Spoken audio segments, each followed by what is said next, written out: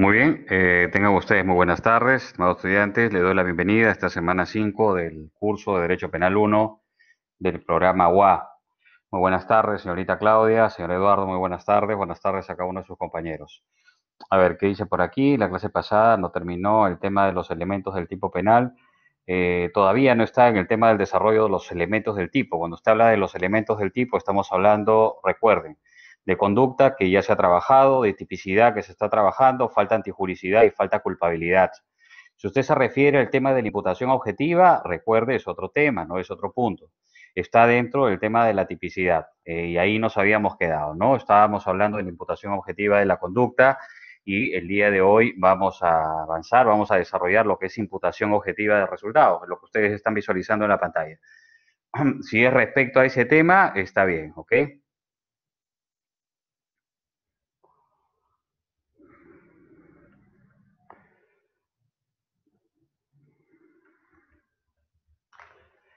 Bien, entonces, eh, básicamente dentro de este ámbito habría que, trabajar, habría que, preguntar también, ¿no? Eh, ¿Qué es básicamente el tema de la imputación objetiva desde un punto de vista del resultado? Y hemos trabajado la imputación objetiva de lo que respecta, ¿no? Eh, este tema de la, de la conducta y ahora habrá que ver el tema de la imputación objetiva del resultado. Respecto al objeto material del delito, recuerden ustedes sobre donde recae la conducta, sobre donde el, tipo penal establece, por ejemplo, el sujeto que mata a otro. Es evidente que en el nexo de causalidad vamos a evidenciar o identificar dentro del tipo penal, en principio, que el objeto material en este caso sería pues el cuerpo, ¿no? Sin vida de la persona, tal y como se ha eh, establecido la muerte de la persona. Pero si hablamos de bien jurídico protegido, vamos a eh, eh, básicamente a ver cuál es lo que, el elemento que se está protegiendo. En este caso, si es un delito de homicidio, será, el, será la vida. Si se trata de un delito de lesiones, será la salud del cuerpo, ¿no? La, la parte mental. Si se trata del aborto, depende, ¿no? Será la vida humana dependiente.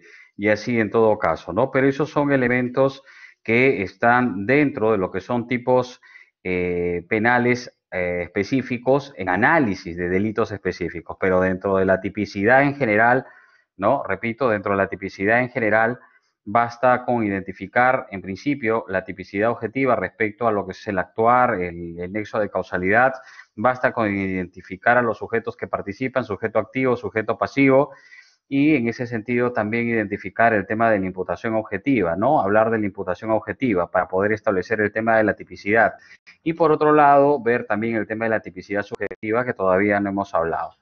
Muy bien, entonces, eh, regresando nuevamente al tema de la, de la imputación objetiva, ya habíamos hablado de imputación objetiva de la conducta y habíamos hablado cada uno de sus elementos que la conforman. Habíamos hablado del riesgo permitido, ¿no? Habíamos hablado de este tema, pues, de, digamos, situaciones que son socialmente adecuadas, que son socialmente permitidas, entre otros aspectos. Hemos hablado también de la disminución del riesgo, hemos hablado del riesgo insignificante, hemos hablado del principio de confianza, hemos hecho mención también a lo que es la prohibición de regreso y también hemos trabajado lo que es el ámbito de responsabilidad de la víctima, ¿no? También imputación a la víctima como se le conoce.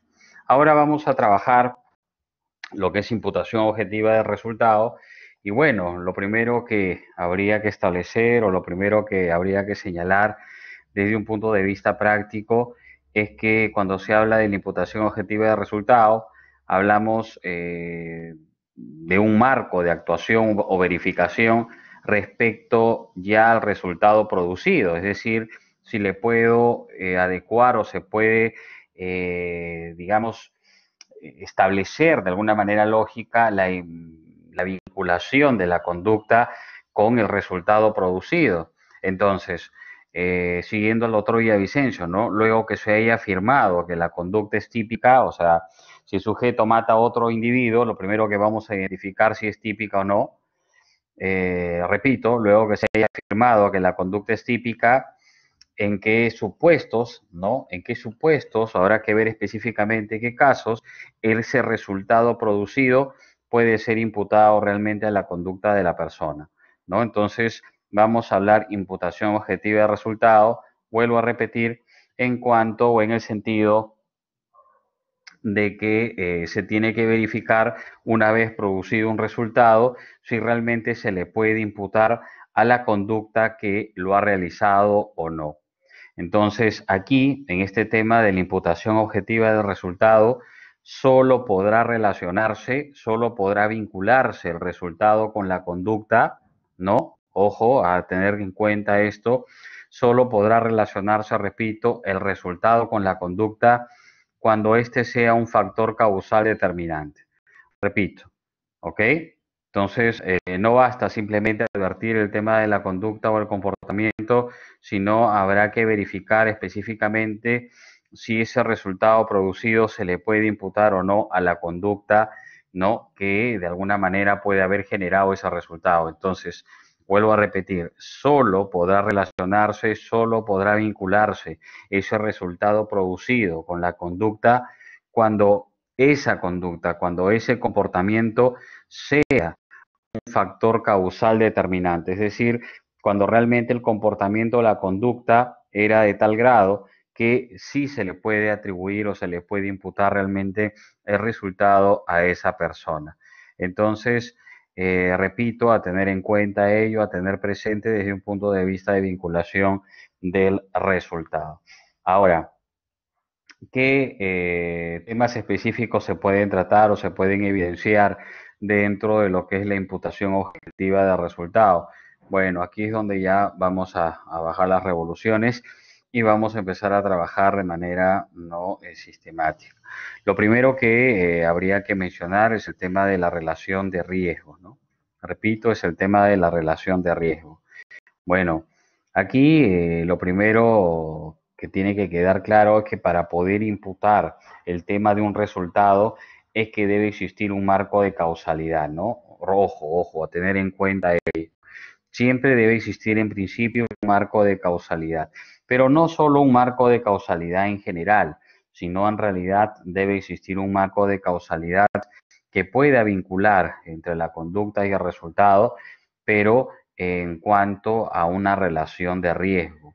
Entonces, repito, para poder hablar de la relación de riesgo, se requiere necesariamente una relación de causalidad, ¿no? Es lo primero que debe existir. A ver, pregunta para ustedes, ¿no? Para poder saber si me están entendiendo, que la gran mayoría ha resuelto bien el examen, así que no creo que tengan problemas para explicarlo, ¿no? Entonces yo les pregunto a ustedes, ¿a qué se refiere relación de causalidad? A ver, ¿qué entienden ustedes por relación de causalidad?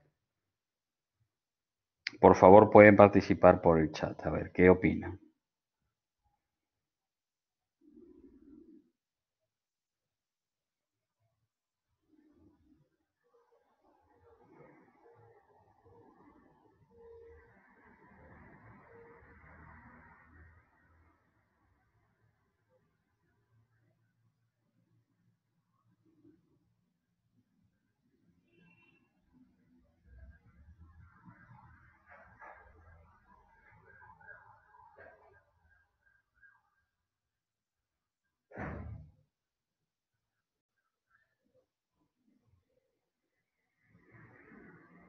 Bien, no se peleen por participar, todos pueden, ¿no?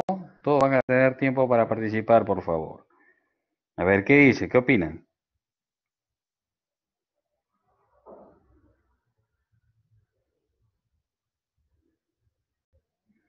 ¿Qué significa relación de causalidad?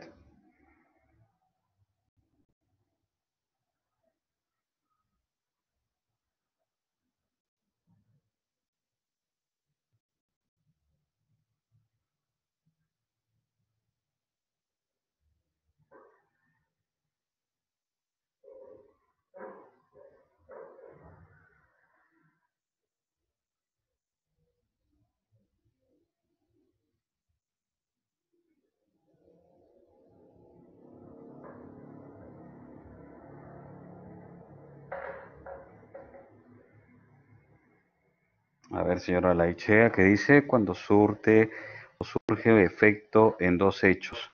A ver, ¿cómo sería eso, por favor? ¿Podría explicarlo?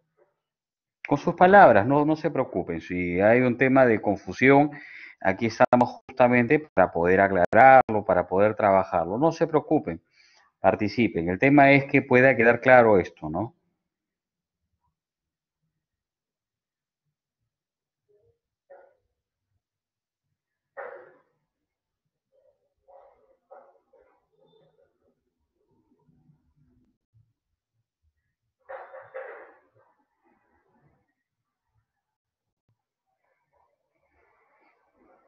A ver qué dice señor Aredo. Es cuando la acción o conducta ha dado un resultado, producido un resultado, es cuando la conducta ha sido producida por el riesgo no permitido. Bien, a ver, entonces, gracias, gracias, señor Rachea, gracias, señor Aredo. A ver, en general, ¿no? Cuando hablamos eh, de una relación de causalidad, en principio, eh, siempre vamos a tener que vincular el tema de acción-efecto. No es lo primero que debemos tener en mente cada vez que se hable de relación de causalidad, ¿no? Causa-efecto, ¿no? O acción-efecto, si quieren llamarlo así, ¿no? Entonces, eh, por ejemplo, ¿no? Si el tipo penal señala el que mata a otro, se entiende que el nexo de causalidad o la relación de causalidad en ese tipo penal es justamente la acción de quitar la vida a una persona. Y si Juan dispara a Pedro y le quita la vida a Pedro, es evidente que existe una relación de causalidad. ¿Por qué? Porque Juan dispara, Juan realiza un comportamiento, Juan realiza una acción, una conducta, ¿no? Y eh, termina generando en principio un resultado. Entonces, Juan le disparó a Pedro, sí. Juan eh, quiso matar a Pedro, ya son otros elementos que se tendrá que evidenciar. Pero en principio, el nexo de causalidad es, repito, acción-resultado, causa-efecto, si quieren llamarlo así.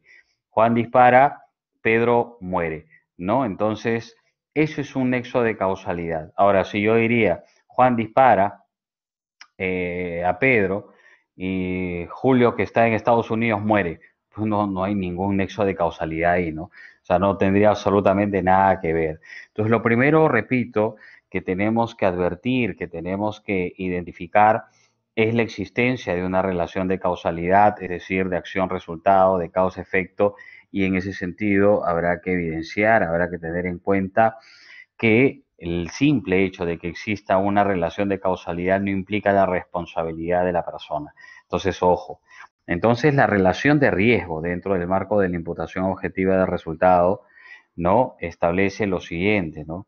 A ver, señorita Jessica, que dice aquí, negligencia en los hospitales puede ser. Sí, claro, podría darse el caso de que el médico esté atendiendo a un sujeto X y este eh, omite realizar una evaluación específica o omite realizar un análisis específico o en todo caso lo lee de manera inadecuada y termina eh, diagnosticando algo que no corresponde o termina amputando una pierna que no corresponde o le quita un brazo que no corresponde o una oreja que no le corresponde. Bueno, en ese caso existe un nexo de causalidad, ¿no? Porque evidentemente está vinculado también entre la acción y el resultado. Claro, sí, sí. Entonces, repito, la relación de causalidad es básicamente el tema del comportamiento, la conducta o la acción que se da entre el sujeto y, el resultado específico, ¿no? En marco general, repito de nuevo, en marco general para poder tenerlo en cuenta, tenerlo presente. Ahora bien, ¿qué es la relación de riesgo ya dentro de la imputación objetiva? Bueno, en este caso habrá que establecer, repito, primero dice se requiere una relación de causalidad, es decir, una relación de riesgo entre la conducta y el resultado. Entonces, no basta simplemente una relación causal eh, en abstracto, una relación causal en general, sino que debe existir una relación de riesgo en realidad entre la conducta y el resultado. ¿Por qué les digo esto? Porque puede presentarse el caso de que Juan disparó a Pedro y le quitó la vida a Pedro, pero le disparó a Pedro porque Pedro quería matarlo. Entonces, Juan disparó en legítima defensa. ¿Existe una relación de causalidad? Sí. ¿Le puedo imputar el homicidio? No, pues evidentemente porque ha sido un tema de legítima defensa. Entonces, lo que debe existir dentro del marco de la relación de causalidad, repito, es en principio que exista también una eh, relación de riesgo entre esa conducta y el resultado. A ver qué dice por aquí. Por eso es que muchos delincuentes salen libres, usan esa artimaña a su beneficio, disparo, pero no quiso matarlo, solo asustar para que se deje robar. No, eh, bueno, ahí también hay otro, hay otro error, ¿no? El señor Olachea.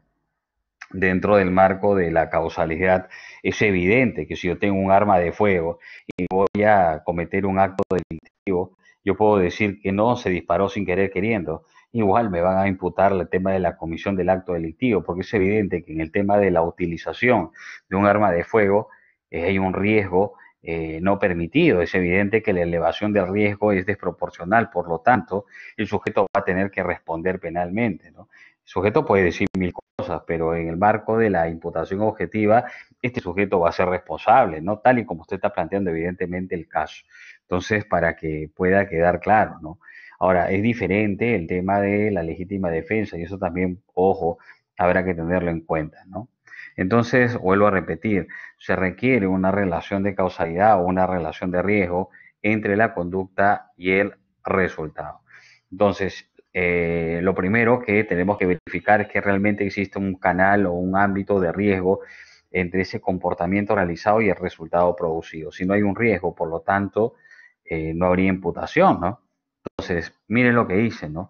Se niega la imputación objetiva en supuestos que a pesar que el resultado ha sido causado por una conducta, ¿no?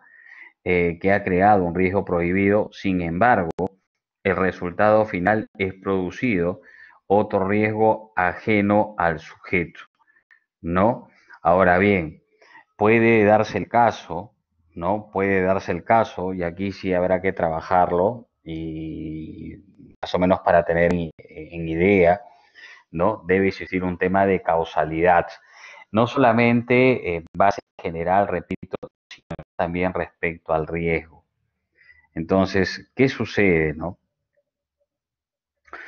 Eh, a ver, puede darse el caso de que un sujeto dispara a un individuo, ¿no? Dispara a un individuo para matarlo, evidentemente, pero no lo mata, ¿no? Sino que simplemente lo lesiona, ¿no? Simplemente lo lesiona, le cae un balazo en el brazo y, queda herido. Entonces, a este sujeto, ¿no? Eh, se lo va a llevar pues a la, ambulancia o llevan al hospital para salvarle la vida, ya está en el hospital o está en una clínica y bueno, eh, sucede que cuando está en la clínica se produce un incendio, ¿no? o bueno, se contagia del COVID y se muere del COVID, ¿no? Que podría presentarse ya que estamos en ese contexto. El tema es, eh, ¿podría imputarle la muerte de, de, Pedro, por ejemplo, si Juan le disparó a Pedro en el brazo, quedó herido y se lo llevaron a la clínica a internarlo y este sujeto tiene que estar eh, hospitalizado y estando hospitalizado eh, hay un incendio y este fallece o le da el COVID y muere de COVID. La pregunta es, ¿podría imputarle la muerte a, Juan? ¿Podría imputarle ese resultado a Juan? ¿Qué dicen ustedes? Así es, señor Aredo, ¿no? A ver, ¿qué opina? ¿Qué dice?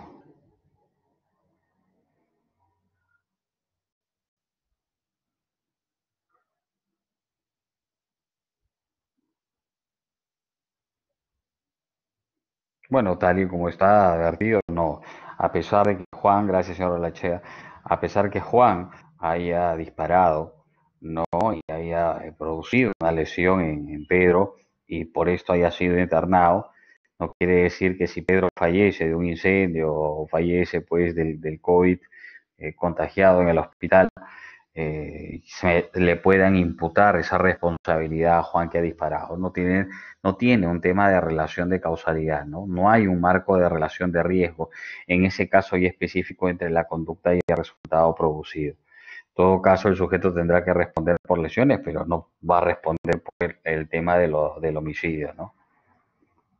Así es, señor Aredo. Muy bien. Entonces, creo que ya está quedando más clara la idea desde un punto de vista de análisis, vuelvo a repetir, de la relación de riesgo en el marco de la imputación objetiva del resultado. Entonces es importante saber esto ya que les puede servir como una herramienta también de defensa, ¿no? Y si ustedes están por parte de la Fiscalía, también advertir en todo caso cuáles van a ser las herramientas o cuáles van a ser los mecanismos de defensa que va a utilizar la otra parte, ¿no? Bien, eh, no solamente ello, habrá que también mencionar, ¿no? Y, aquí hay que tener en cuenta lo que es el nexo causal o los nexos causales desviados. Muy bien, señor Olaichea. Nexos causales desviados. A ver, pregunta para ustedes, ¿no? En general, a ver, ¿qué, entienden ustedes por nexo causal desviado? Ya que lo han trabajado, que incluso ha sido parte de la, de la evaluación, ¿no? Que algunos sí han realizado buen trabajo, bueno, otros eh, simplemente han copiado, pero bueno. A ver, ¿qué, qué opinan, no? ¿Qué sería nexo causal desviado? ¿Qué opinan?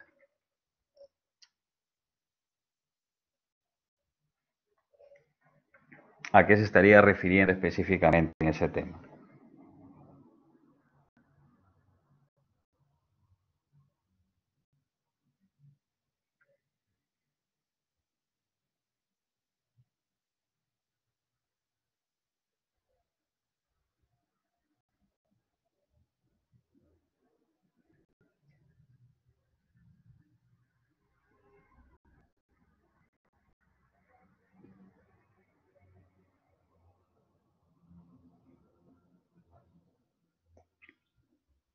Cojan sus apuntes, no hay ningún problema, puedan revisar sus apuntes, el tema es que ustedes puedan entenderlo. A ver.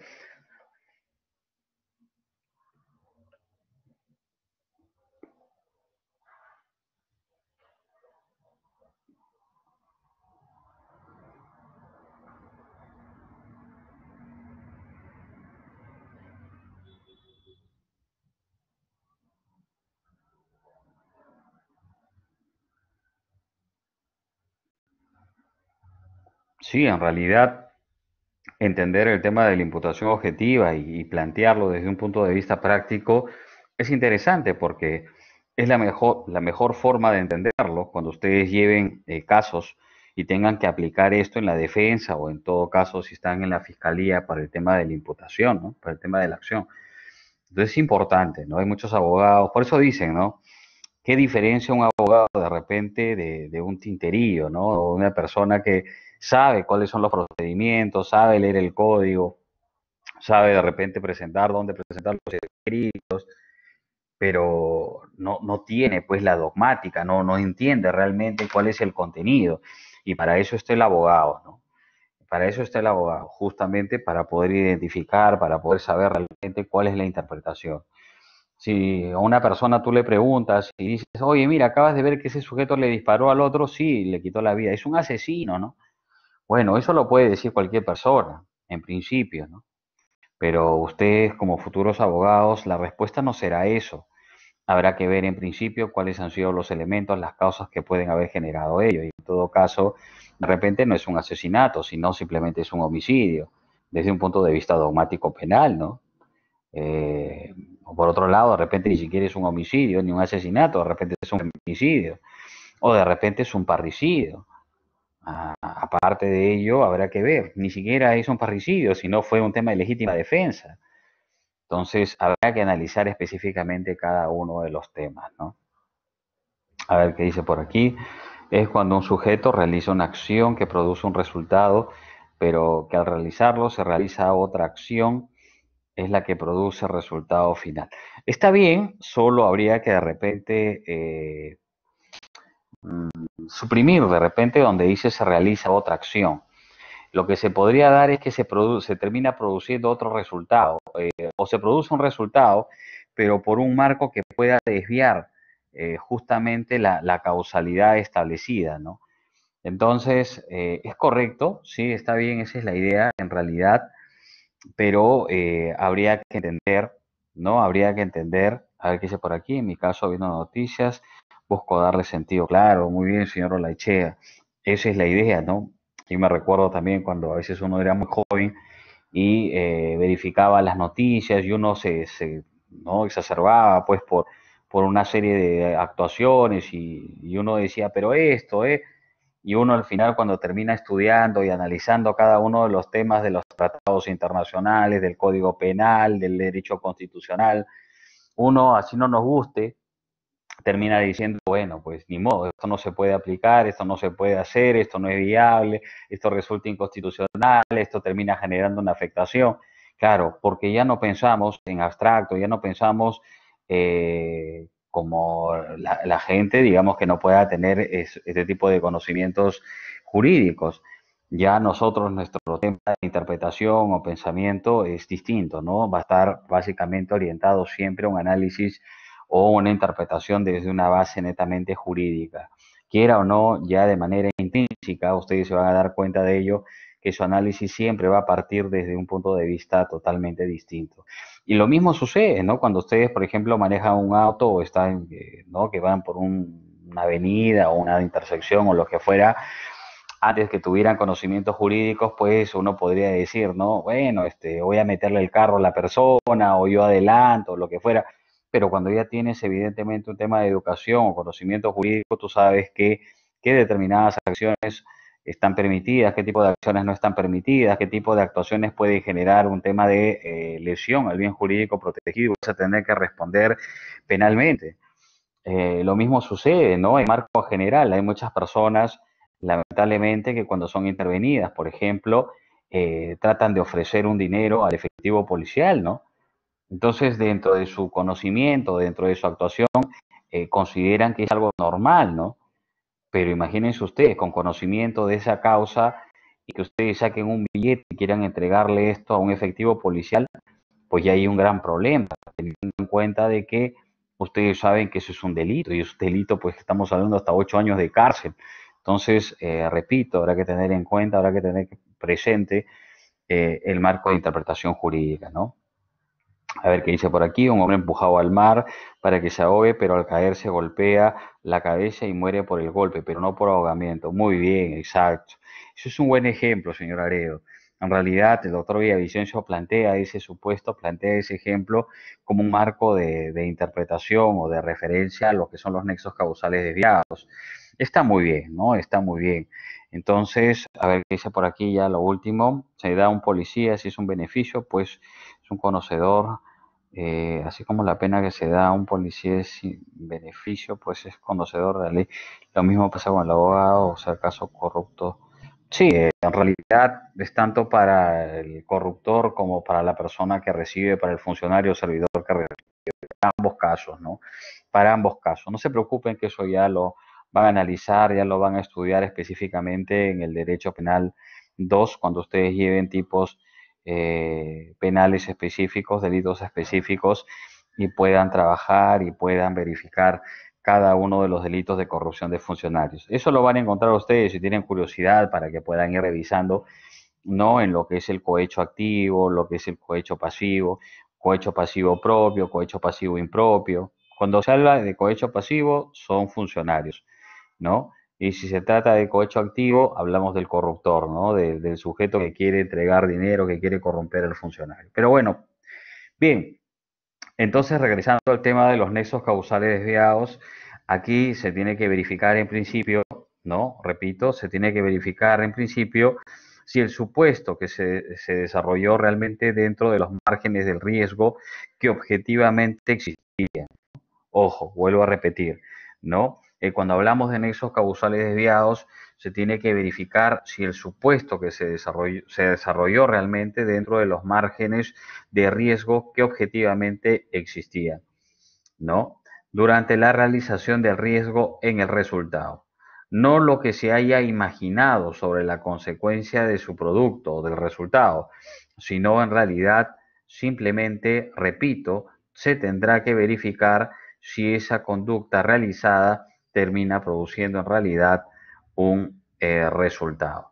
Por ejemplo, ¿no? Eh, lo que estableció su compañero Aredo de este hombre que empuja a una persona porque quiere eh, ahogarla, ¿no? La, empuja del acantilado para que pueda caer al mar y pueda morir ahogado el sujeto, pero cuando lo empuja, este sujeto no cae de manera directa al mar, sino que su cabeza termina golpeando contra una piedra y bueno, este sujeto pierde la vida por el golpe en la cabeza, ¿no?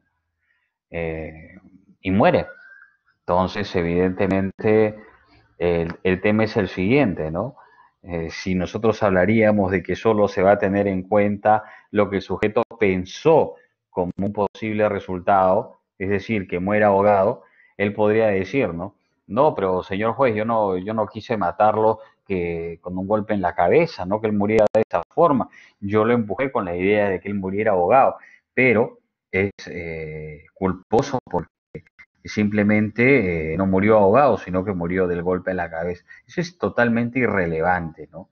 Dentro del marco de los nexos causales desviados, de acuerdo a lo que es la imputación objetiva, el sujeto tendrá que responder penalmente por ese resultado específico. Como dice la doctrina, ¿no? No interesa o no importa, en todo caso, lo que se haya imaginado sobre el resultado posible, es decir, que se haya imaginado que el sujeto muera ahogado, eso no interesa. El tema es que se terminó generando un, un resultado específico. Se terminó generando un resultado específico. Muy bien, tenemos otro, otro tema, ¿no? También importante, que es la interrupción del nexo causal. A ver, ustedes que también lo han leído, lo han trabajado, ¿qué han entendido respecto a la interrupción del nexo causal? A ver, ¿qué, qué se les viene a la mente cuando escuchan hablar, repito, del tema de la interrupción del nexo causal?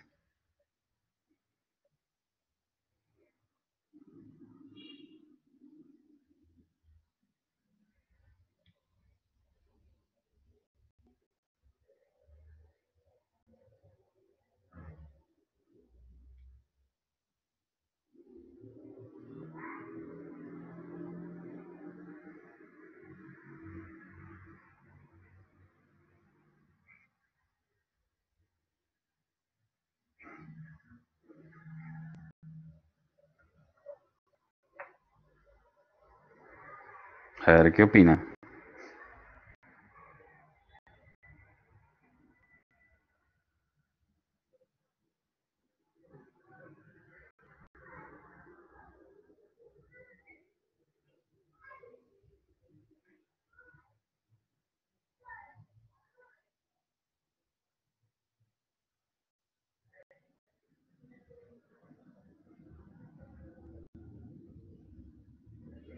A ver qué dice señorita Coronel.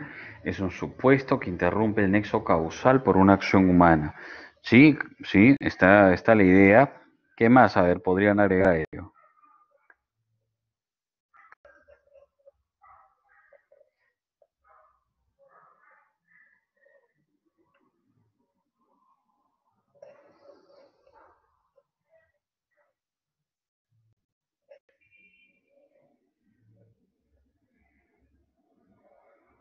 A ver, un par de, de participaciones más y, y explicamos, ¿ok?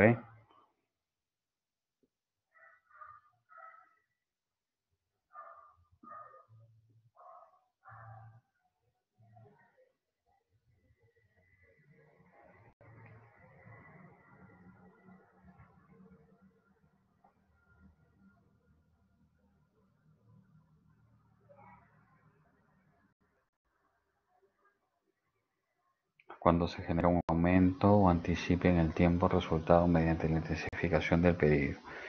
Ok, bien. A ver. Vamos a, redondear la idea, ¿ok?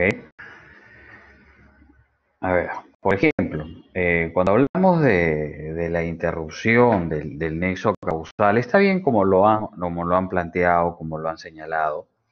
Habría que tener en cuenta el principio que las modificaciones de la causalidad natural no, eh, digamos, eh, se presenten siempre y cuando éste genere un aumento o anticipe en el tiempo el resultado, ¿no? Mediante la intensificación del peligro. A ver, vuelvo a repetir, ¿no? Para tener la idea. ¿Qué podemos entender por interrupción del nexo causal? Vamos a entender por interrupción del nexo causal a las modificaciones de causalidad o las modificaciones de la causalidad natural, ¿no? Siempre y cuando éste genere un aumento o anticipe en el tiempo el resultado, ¿no? Anticipe en el tiempo el resultado. mediante la intensificación del peligro. Ojo, ¿no? Esto de aquí para tenerlo en cuenta. Mediante la intensificación del peligro. Como mencionó también una de sus compañeras, ¿no? Esta se va a interrumpir evidentemente por acciones humanas autónomas, ¿no? Entonces, para tener presente, de nuevo repito, ¿no? Se va a interrumpir por acciones humanas autónomas. Entonces, habría que ver, habría que observar en principio, eh, mediante un ejemplo, cómo es que se puede plantear la figura de la interrupción del nexo causal. A ver, imaginemos que un grupo de delincuentes ha, decidido eh, realizar un, robo, por ejemplo. Pero los sujetos, en principio, no han, decidido dentro del marco del robo no realizar eh, ningún disparo ni, ni, matar pues a ninguna persona. Aunque dentro del tema de la tipicidad subjetiva ya van a ver ustedes en la figura de dolo con consecuencias necesarias van a terminar respondiendo igual penalmente, pero bueno. A ver, en marco de la imputación objetiva, estos sujetos, repito, simplemente han decidido ingresar llevarse ¿no? una determinada mercadería y en todo caso, a lo mucho, han acordado de que van a, podrían llegar hasta lesionar de repente a una persona, pero no matarla. ¿no? Digamos que ese fue el acuerdo. Entonces, eh, los sujetos realizan ¿no? Eh, el tema del ingreso al local eh, amarran a los sujetos, se van a llevar la mercadería, ¿no? De repente uno de ellos eh, de defenderse, uno de ellos lo empieza a golpear, lo lesiona, ¿no? Lo ha golpeado, lo ha lesionado, y viene el otro compañero, el otro sujeto, coge un palo y se lo reviente en la cabeza y lo mata, ¿no? Entonces, habría que ver en principio, ¿no? Sí, eh, realmente se dio un tema de interrupción en el tema del nexo de causalidad, ya que el sujeto solo quería lesionarlo, pero el otro individuo terminó produciendo la muerte. En el tema de la complicidad, repito, desde un punto de vista elementos subjetivos van a terminar respondiendo. Pero cuando se puede advertir o se pueda diferenciar de manera concreta de manera objetiva la diferenciación en las actuaciones o establecer que uno de ellos excedió o fue más allá de lo que habían acordado, el sujeto, él tendrá que responder por ese exceso, ¿no? Tendrá que responder por el exceso. Lo mismo puede pasar cuando dos sujetos intervienen a una pareja, uno de ellos eh, simplemente golpea a la víctima para poder quitarle, ¿no? Y el otro coge un arma y le mete un disparo en la cabeza, ¿no? Cuando eso no era parte del, del acuerdo. Entonces, Aquí es evidente que, se ha generado un tema de interrupción del nexo de causalidad, porque en principio solo era hurtar, por ejemplo, era simplemente generar robo, y a lo mucho era el tema de la lesión, pero en este caso se termina produciendo la muerte, ¿no? Entonces, recuerden ustedes, eh, puede existir un tema de interrupción del nexo de causalidad que se puede presentar y habría que ver, ¿no? Habría que ver quién va a responder por una o quién va a responder por lo otro. Esto se puede dar evidentemente en los casos también de complicidad o de participación, ¿no? En los cuales eh, habrá que diferenciar las, actuaciones de cada uno de ellos. Entonces, es importante tener en cuenta eh, el marco de, de afectación, ¿no? Otro tema importante es los resultados producidos a largo plazo, ¿no? Repito, resultados producidos a largo plazo. A ver, ¿qué, ¿qué, podemos entender por ello? ¿no? Lo que pasa es que se pueden presentar situaciones donde los resultados no se van a evidenciar de manera automática, sino que se van a producir en determinado lapso de tiempo. Y es por eso que los resultados producidos a largo plazo tienen también eh, algunas clasificaciones específicas. Por ejemplo, ¿no? Tenemos el de daños permanentes, ¿no? Tenemos el de daños sobrevenidos y tenemos el de resultados tardíos.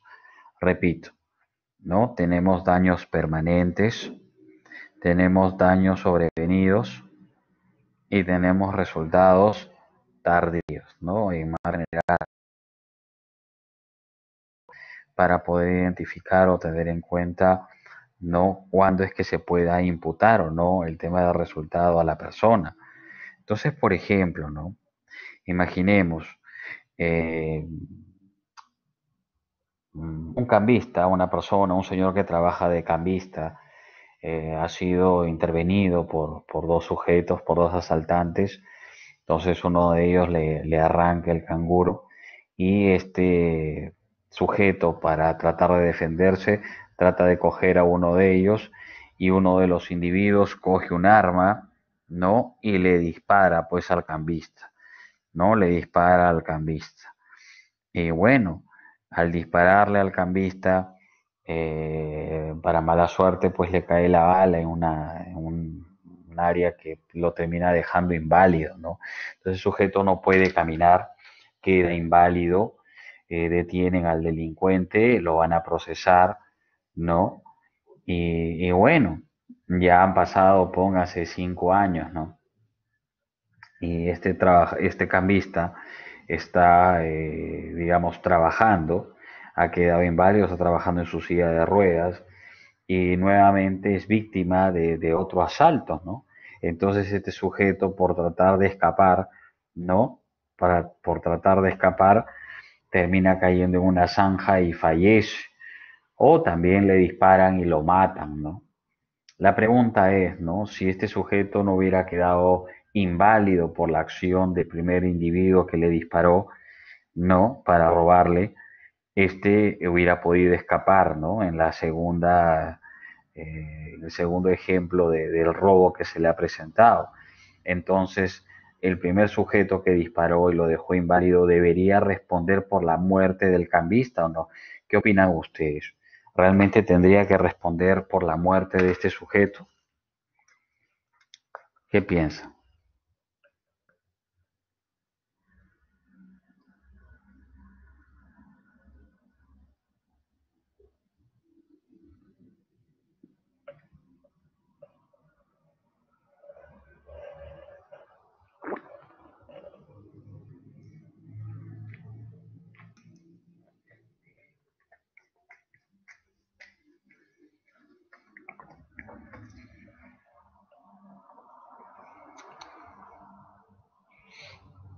A ver qué opinan. ¿Tendría que responder penalmente o no?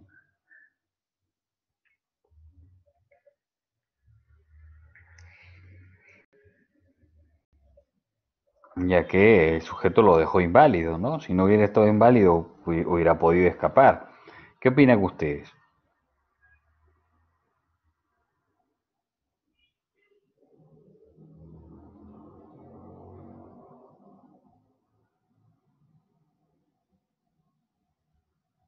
Ok, sí, es una buena apreciación, señor Turing, ¿no? Compañero establece de que sería pues eh, moralmente injusto, ¿no? Ya que el sujeto ya fue procesado, ya fue sentenciado y, ya respondió, ¿no? Ya pagó pues por, la culpa que había cometido, ¿no? ¿Qué opina el resto?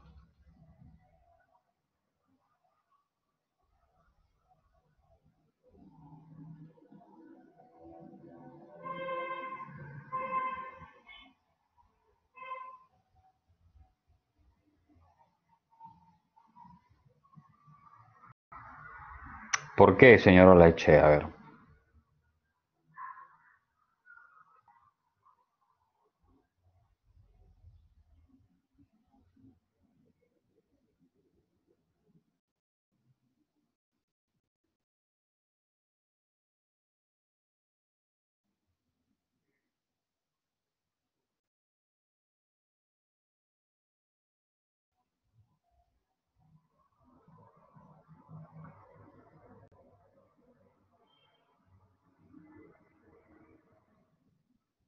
Además, que participó, señor Luis, señor Eric, señorita Dalí.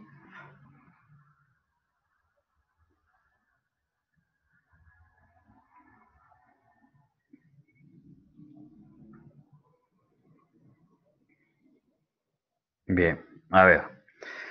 En principio, recuerden ustedes que dentro del ámbito penal, cada quien va a responder dentro de un marco de causalidad, es decir, yo respondo evidentemente por mis acciones, no respondo eh, por los resultados que yo produzco, ¿no? Pero no puedo responder pues por otros resultados, ¿no? Entonces, eh, principio, habrá que tener en cuenta el tema de la actuación, el tema de la causalidad siempre para poder verificar. Y en este caso yo no le podría imputar el resultado muerte de este cambista al primer sujeto que disparó, porque si bien es cierto, este disparó eh, y lesionó y lo dejó inválido, con una invalidez permanente al, al individuo, al cambista, este eh, no le quitó la vida. Este no tendría que responder por la muerte de esa persona. Entonces, se debería excluir la imputación objetiva en ese caso, ¿no? Solo responderá el sujeto por lo que él cometió, es decir, bueno, si quedó en grado de tentativa en su momento de homicidio, bueno, responderá por ello, si no responderá por las lesiones, dependiendo, ¿no? Entonces, repito, habrá que tener en cuenta, habrá que tener que presente ese marco específico para poder diferenciar, ¿ok? Entonces, en el caso de daños permanentes, el sujeto responde por los daños que ha producido, por las lesiones que ha producido, pero no por aquellos que se puedan suscitar más adelante a causa del daño que se puede haber eh, generado, se puede haber producido. Entonces, repito, tener presente, tener en cuenta ello, ¿no? ¿Qué más dice por acá? Si fuera otro delincuente, como el ejemplo, presunción podría ser que estuviese bien, ya que se corre y el efecto de disparo sería el mismo. Bueno, sí. Eh, debe tenerse, repito, en cuenta o tenerse presente básicamente ese, ese tema, ¿no? Por otro lado, también está la figura de los daños sobrevenidos, ¿no? A ver, ¿qué son los daños sobrevenidos? Es muy parecido en, el tema de, la, de los nexos eh, causales, ¿no? Si es que quieren de repente vincularlo, tenerlo en un tema de referencia, son parecidos. En el sentido de que, básicamente, eh, por ejemplo, ¿no? Un sujeto va a comer a un restaurante ¿no? Un sujeto va a comer a un restaurante y bueno, pide pues, no sé, imagínese usted, una paella o se pide una parihuela y bueno, el sujeto está disfrutando evidentemente su, su comida, ¿no? Pero eh, sucede que a los pocos minutos se empieza a sentir que le falta oxígeno, le empieza a picar el cuerpo y el sujeto termina intoxicado, ¿no? Termina intoxicándose. Entonces lo llevan al hospital, a la clínica inmediatamente, ¿no? Y eh, para su mala suerte se contagia del COVID, ¿no? En la primera noche que se queda internado en el hospital se contagia y este y esta enfermedad le agarra tan rápido que muere, el, ¿no? Al, al segundo día fallece, ¿no? Pero no fallece por la intoxicación, sino fallece por el COVID. Entonces, eh, la pregunta es, ¿no? La persona que, que le vendió este alimento, la persona que preparó el alimento, tendrá que responder por la muerte de esta persona. ¿Qué opinan ustedes? ¿Qué dice? ¿No? ¿Tendrá que responder o no?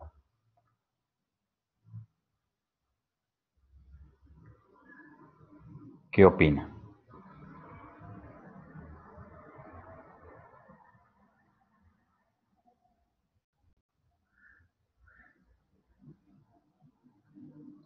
Ok, su compañera Jessica dice que no. ¿Por qué no? A ver, ¿por qué no respondería? A ver, ¿cuál sería su respuesta, no? ¿Por qué no tendría que responder penalmente si por su culpa el sujeto terminó en el hospital? No. ¿Por qué? A ver.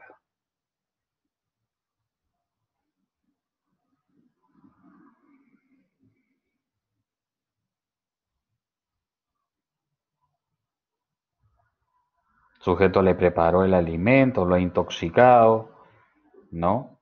Y por su culpa pues ha terminado en el hospital, contaminado y muere.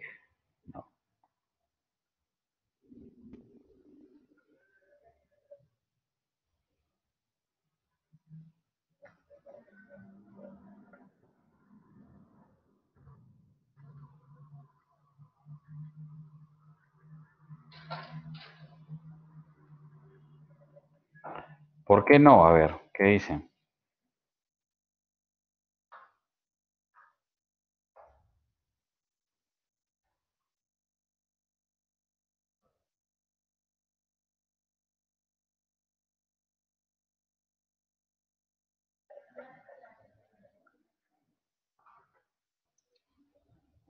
Muy bien, ¿no? Sí, la, la respuesta es sencilla, la respuesta es simple, ¿no?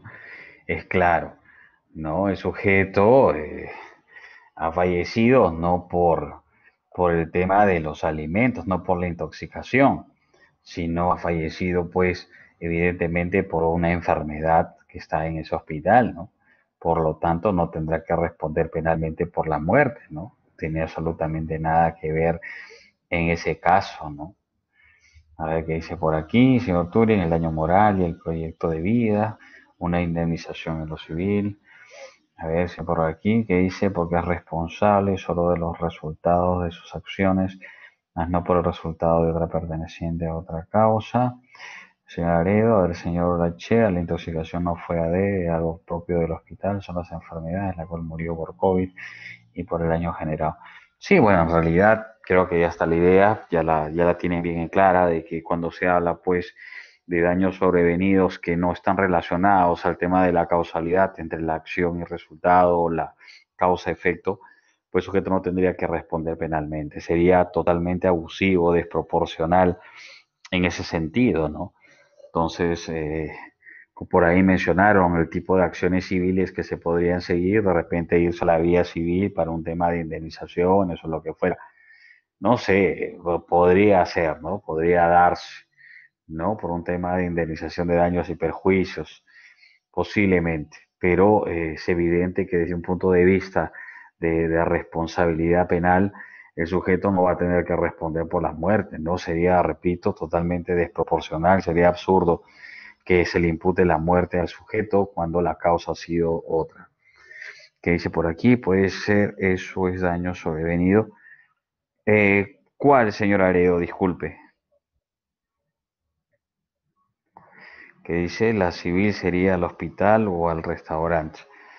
Bueno, en principio habrá que ver, ¿no? Si por culpa de, de negligencia de, del hospital eh, ha producido el tema del contagio, no han tomado las medidas, no han seguido los protocolos, pues también pueden demandar al hospital, ¿no? Y por supuesto habrá que, que ver en principio el tema de los gastos que había generado, el tema de la intoxicación o lo que fuera, también demandan al restaurante, ¿no? Demandarían a los dos, ¿no? En la vida civil. Eh, como un tema de indemnización por daños y perjuicios. ¿no? Ah, solo habría que ver, habría que analizar, ¿no? habrá que ver específicamente. ¿no? Eh, al concepto que señalé, sí, son daños sobrevenidos, ¿no? Daños sobrevenidos, señor Aredo. Estamos en el tema de daños sobrevenidos. Uh, tanto en daños permanentes como en daños sobrevenidos, recuerden ustedes, se tiene que excluir la imputación. No, no hay de qué, señor Aredo. Entonces, eh, vuelvo a repetir, tanto en el caso de daños permanentes como daños sobrevenidos, se excluye la, imputación objetiva. ¿Ok? Ahora, existe también la figura de los resultados tardíos. A ver, planteo el, ejemplo, ¿no? A ver, ¿ustedes qué opinan? A ver, ¿qué dicen? Eh, a ver, hay un sujeto, hay un chico que ha decidido irse a la discoteca ¿no? Ya pasó la cuarentena, ya hay cura, ¿no? Ya hay aparte vacunas, ya todo el mundo está happy y pum, se reinicia la, la vida normal, ¿no? El sujeto se va a celebrar, se va a la discoteca, empieza a bailar y conoce pues a una chica, eh, palabras van, palabras vienen, copas van, copas vienen y de repente termina en un hotel, ¿no? Termina en un hotel tienen relaciones sexuales y cuando eh, despierta el sujeto va a lavarse la cara y de repente ve en el espejo, ¿no? Que dice, ¿no? Bienvenido al club de los idosos, ¿no? Y bueno, el chico no se había cuidado y nada, la chica eh, estaba, que era portadora del VIH le termina contagiando, ¿no? La, enfermedad. Entonces, la pregunta es, ¿no? eh, llamémoslo así, ¿no? esta persona que, le ha contagiado el VIH, el virus, eh, ¿no? este, este virus específico, eh, tendrá que responder, digamos, mm, por la muerte o la futura muerte del sujeto, porque sabemos que VIH es incurable, ¿no? O sea, no, no hay cura y, y, que al final y al cabo va, va, a producir la muerte de la persona. No mañana, no pasado, no en tres meses, de repente de aquí a seis años, siete años, diez años, y ahora con este tema de los medicamentos, de repente de aquí hasta 20 años, no lo sé, pero eh, que va a producir la muerte, la va a producir en algún momento. Entonces la pregunta es, ¿esta persona que le contagió tendrá que responder por ese resultado tardío? No, a ver, ¿qué opinan ustedes? ¿Qué piensan?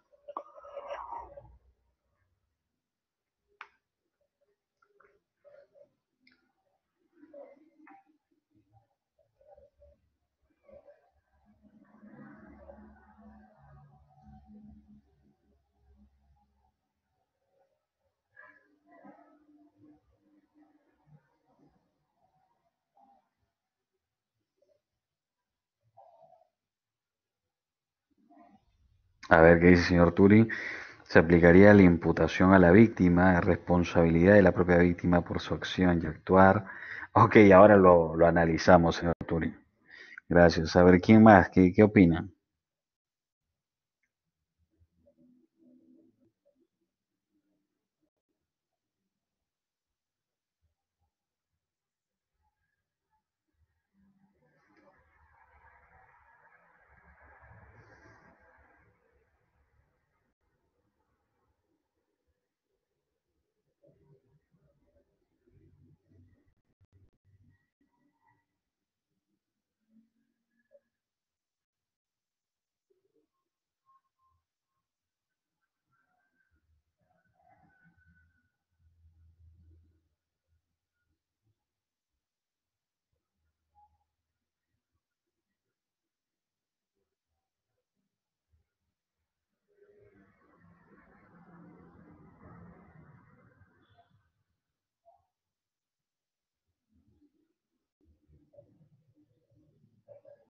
A ver qué opinan, qué dicen.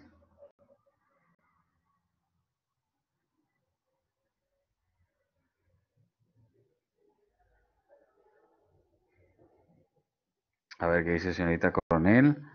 Ya que la víctima sufre daños que acortan su expectativa de vida, sí debería responder. Señor Janko, no, porque es el actor de la persona bajo su conciencia. Mm, ya, a ver, ustedes son su abogado, a ver, de la persona, ¿qué hacen? ¿No? Acaban de, de denunciar a la persona por una muerte, a ver, ¿qué dice?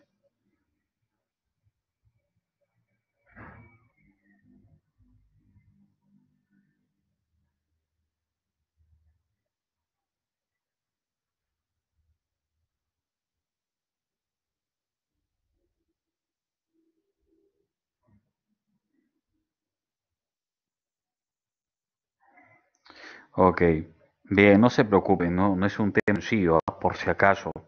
Gracias, gracias señor Turi, señorita Dalí, gracias señor Rodi, señorita Jessica, señor Eric. Gracias. Eh, como les digo, no, no, no es un tema que, que, sea sencillo, es un tema complejo, es un tema que incluso todavía está en discusión, está en tema de análisis.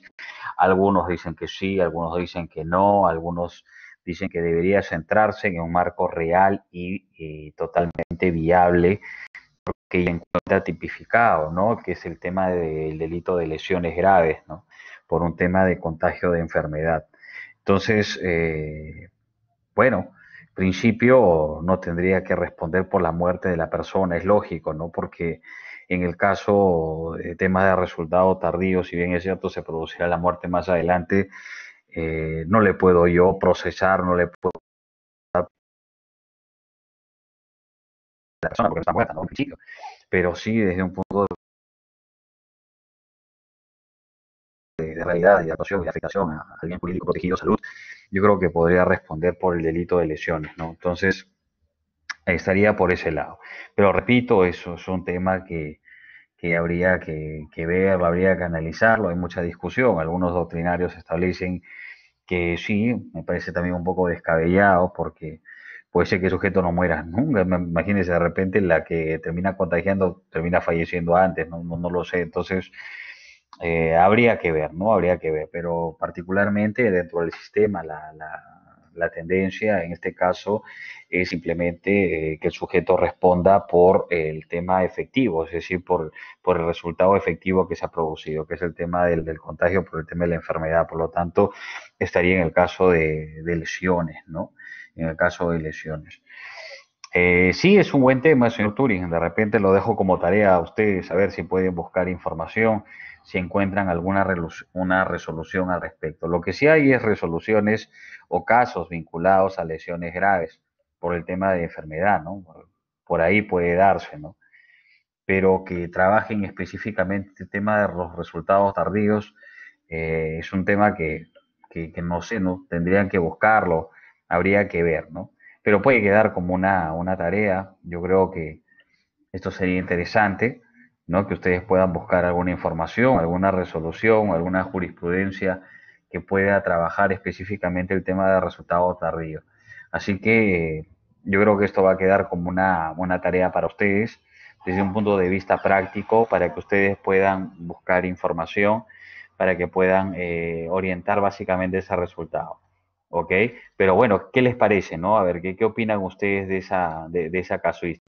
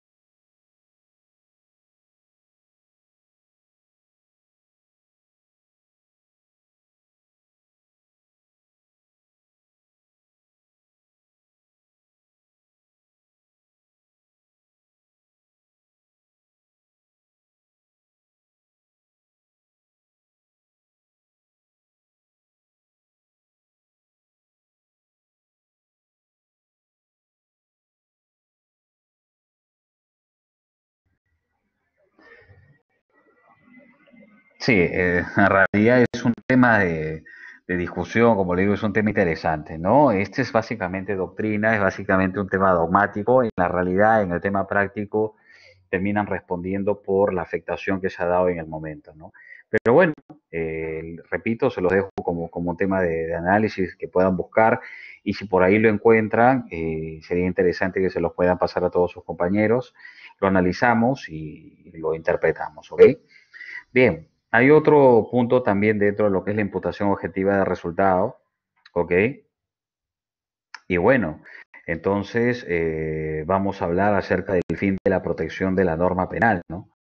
Es otro tema interesante, porque aquí para poder configurar la imputación es necesario identificar que el resultado generado, ¿no?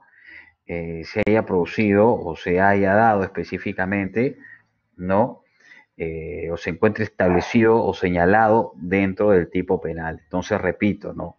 Para poder configurar la imputación dentro del marco del fin de protección de la norma penal, es necesario en principio identificar que el resultado generado por el peligro se halle presente en el tipo penal. En otras palabras, ¿no? Para ponerlo más sencillo, ese resultado que va a ser pasible de responsabilidad penal, que va a ser pasible de una sanción penal, debe estar comprendido dentro del fin de protección de la norma penal. Repito, ¿no? El resultado que se ha producido debe estar comprendido específicamente dentro del fin de protección de la norma penal, ¿no? Entonces, eh, a ver, ¿no? Les, les, pongo un ejemplo y ustedes me dicen si puede responder penalmente o no.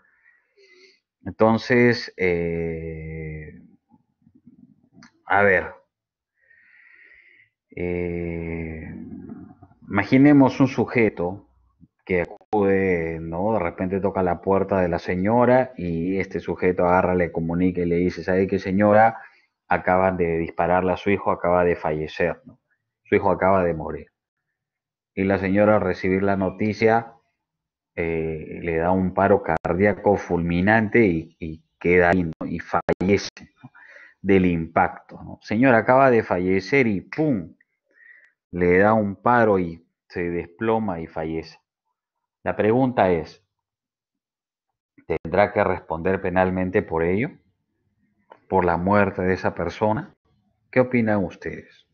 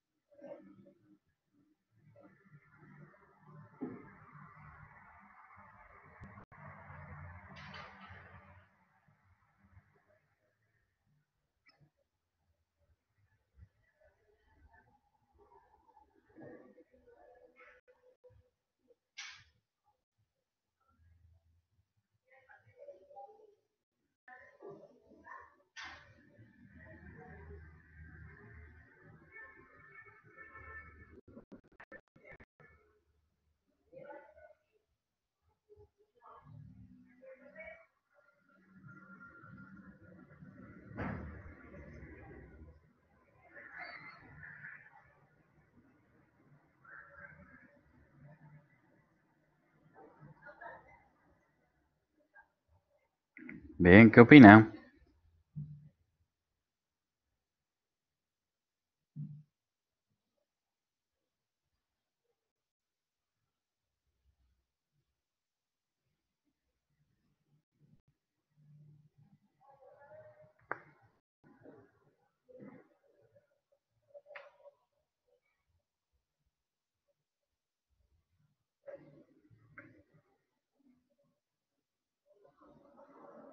Así es. No, en realidad sería difícil, ¿no? Ya que esto no se encuentra dentro del marco de protección de la norma penal, ¿no? Lo mismo puede pasar, evidentemente, en el tema de lesionado, pues que muere en el hospital por incendio, lo mismo, ¿no? Es evidente que la norma no, no prevé este tipo de conductas, ¿no? No señala de que si el sujeto termina falleciendo porque el otro, lo, por su culpa, fue llevado al hospital y este termina muriendo de un incendio o de otra causa, responderá penalmente. Eso no, no hay dentro de la norma penal. Entonces, lo mismo puede pasar con el tema de la información, ¿no? de que le dé un infarto. No va, evidentemente, a poder ampararse el marco de la imputación en ese caso, ¿no? Entonces, eh, repito, a tener en cuenta, a tener presente el marco del fin de la protección de la norma penal ya que para poder configurar, recuerden ustedes, la imputación es necesario que ese resultado esté comprendido dentro del fin de la protección de la norma penal. Si no está, si no se encuentra dentro de lo que establece la norma penal, el sujeto no podrá responder penalmente. A ver, eh, ¿en qué principio no del derecho penal está relacionado? ¿Con qué principio del derecho penal está relacionado este tema? A ver si se recuerda. Está fácil la pregunta. A ver.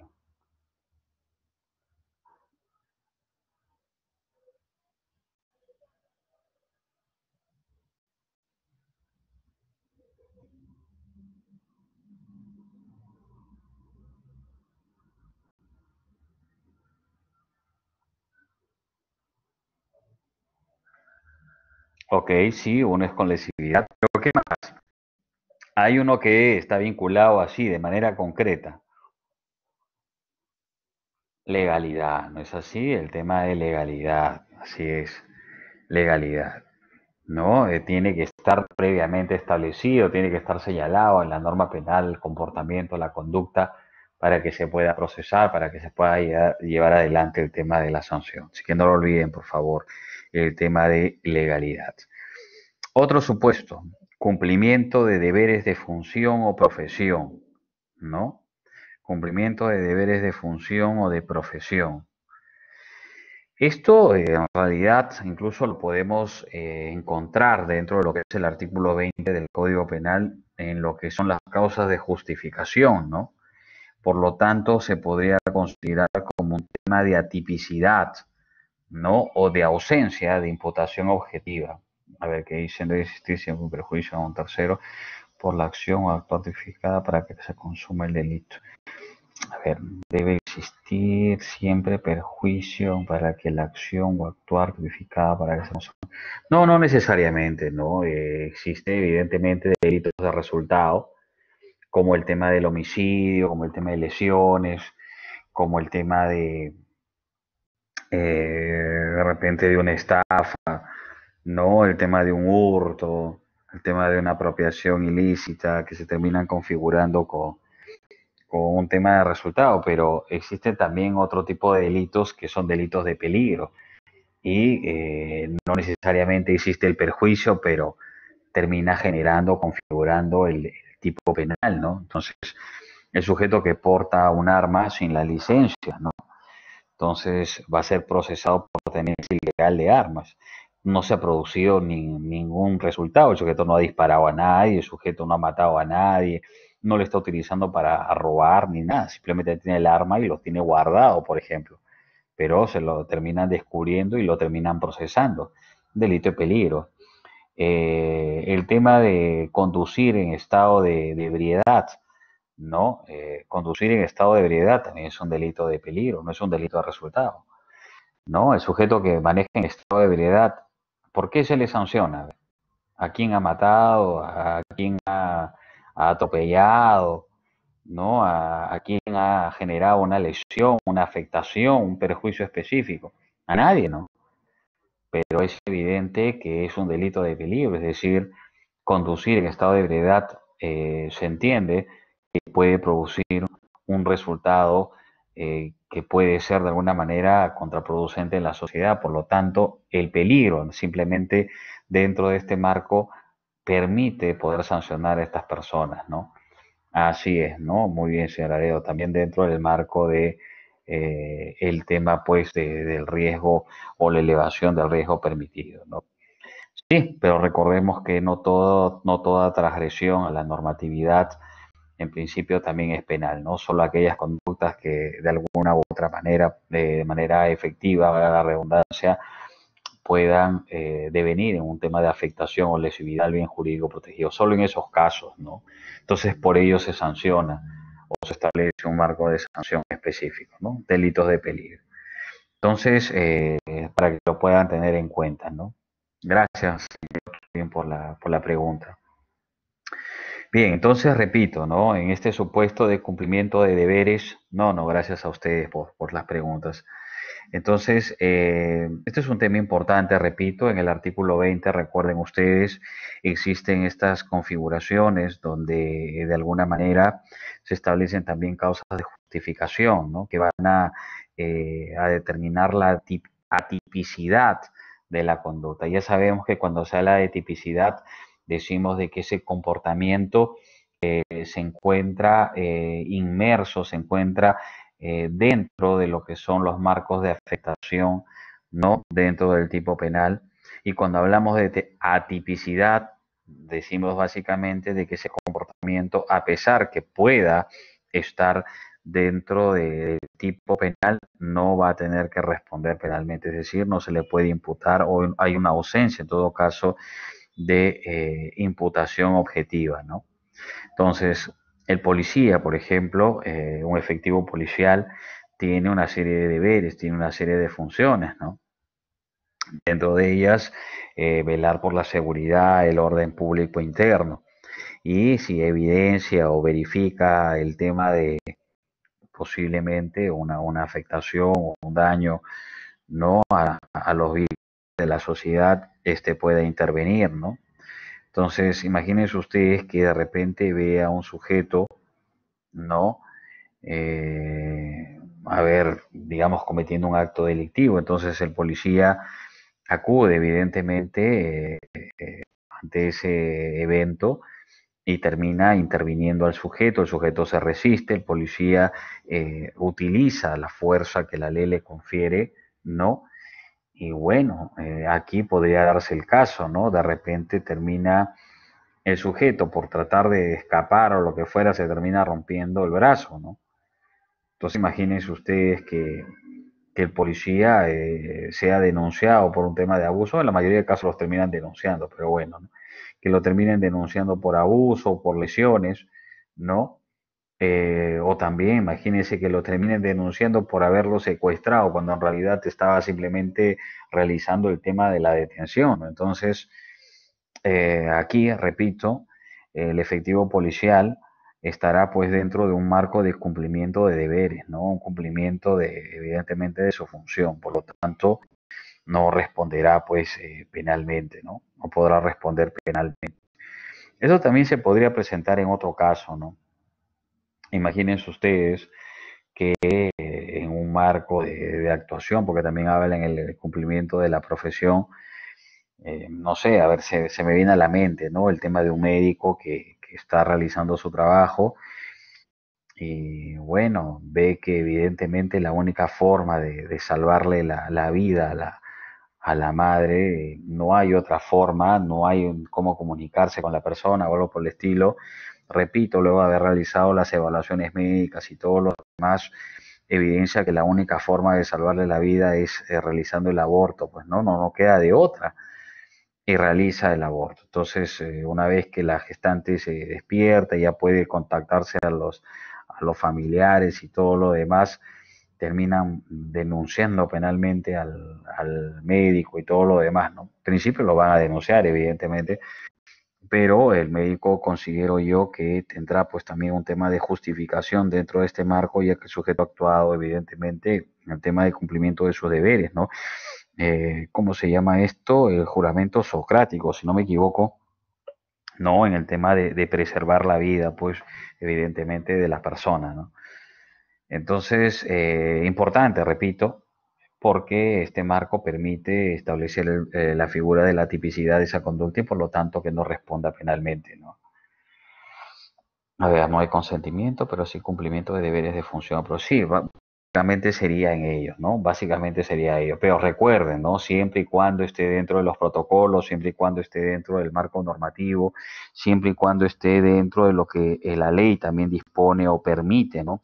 Si no sería un abuso, imagínense ustedes, ¿no? Siempre tiene que estar dentro del marco de, actuación de la norma, dentro de los protocolos, y bueno, podría generarse un marco de excepcionalidad en esos supuestos, ¿no? Otro tema sería, eh, dice, por obrar por disposición de la ley, ¿no? Eh, obrar por disposición de la ley. Bueno, aquí eh, básicamente estaría vinculado pues en el cumplimiento de un deber que la ley ordena, ¿no? Así es, señor Entonces, eh, bueno, si nosotros hablamos de obrar por disposición de la ley o por cumplimiento de, la ley, eh, no vamos a responder penalmente en ese caso, ¿no? Entonces, si la ley dice que tú debes actuar de determinada forma, pues no me van a procesar penalmente por ello, ¿no? Entonces, aquí, repito, debería estar enmarcado dentro de este ámbito, ¿no? ¿Qué dice, profesor, cuando entonces los policías no asisten a una denuncia por agresión a una persona y esta termina siendo asesinada? Los policías pueden ser denunciados por omisión ante que por no haber asistido. Sí, por supuesto, ¿no? Recuerden ustedes cuando hablamos de los casos de omisión propia, eh, les di algunos articulados que ustedes habían revisado. Y claro, por supuesto, eso es un tema ya de, de comisión específica porque está dentro del marco de deber sus funciones, ¿no? Ellos no pueden obviar o no pueden, por ejemplo, un civil puede, evidentemente, si tengo un tema de peligro, eh, resistir o obviar el tema de socorro, pero en el caso de los efectivos policiales está dentro de sus funciones, ¿no? Entonces, si no le hacen caso o no hay un, no hay un tema de atención concreta, correcta a la persona que está presentando la denuncia, pues tendrá que ser denunciado y responder penalmente por un tema de omisión de funciones en esos casos, ¿no? Y por último está el tema del consentimiento, ¿no? Esto del consentimiento que muchos de ustedes lo han trabajado, creo que eh, algunos incluso se excedieron, ¿no? En el tema de los ejemplos que, han detallado, pero bueno, es, válido. Y esto también es una, un eximente de responsabilidad penal. Ojo, el consentimiento lo van a encontrar también en el artículo 20 del Código Penal, repito, en marco general. Eh, importante porque eh, establece de que puede darse los casos que exista consentimiento en el actuar en las relaciones entre los individuos o los sujetos y en ese sentido el consentimiento produzca un tema de eximente de responsabilidad penal. Imaginemos, ¿no? La abuelita que está esperando fuera de una casa y, de repente ve a un joven que está pasando y le dice, por favor, joven, yo vivo sola y, ya ves ha quedado dentro del inmueble, no sé cómo ingresar, por favor, puede usted romper la puerta y, ¿no? y de repente poder ingresar yo ya y sacar la llave. Entonces el joven agarra y le mete un patadón a la puerta, la rompe y, bueno, una vez que ingresa la bolita agarra y dice, joven, lo voy a denunciar, policía, policía, lo voy a denunciar penalmente porque usted ha roto las puertas. Bueno, eso sería pues, digamos, un poco extraño que se presente, pero imagínense, ¿no? Entonces en ese caso habría que ver o habría que establecer específicamente si, si realmente el sujeto va a responder por los daños producidos, tal y como está el tipo en el marco dogmático del tema del consentimiento, no tendría que responder penalmente, ya que la abuelita o la propietaria dio autorización para ello, ¿no? Por lo tanto, no hay delito de daño. Hay otros supuestos también que se pueden presentar, por ejemplo, en el caso de, a ver, de, un tema de, de relaciones, ¿no? Donde hay un tema de consentimiento, no puede existir, por ejemplo, violación, ¿no? Entonces, si hay un tema de consentimiento, si hay un tema de acuerdo, después la otra persona no puede decir que existe violación, porque evidentemente hay un tema de, consentimiento. Ahora, un consentimiento válido, voluntario, que tiene que ser previo, sin coacción, sin, sin afectación, ¿no? Eh, entre otros aspectos que se puedan presentar. Pero ojo, repito, ¿no? El tema del consentimiento es importante ya que eh, puede eximir el tema de la responsabilidad penal. Muy bien. Entonces eh, serían los, los, temas ya puntuales o específicos de lo que es la imputación objetiva. Con ello cerramos la imputación objetiva ya se han dado cuenta no basta simplemente con advertir de que eh, se produce un resultado y por lo tanto el sujeto tenga que responder penalmente por ello, sino que en realidad tiene que advertirse una serie de, actuaciones, una serie de actos para nosotros recién poder hablar del tema de la imputación objetiva de una persona.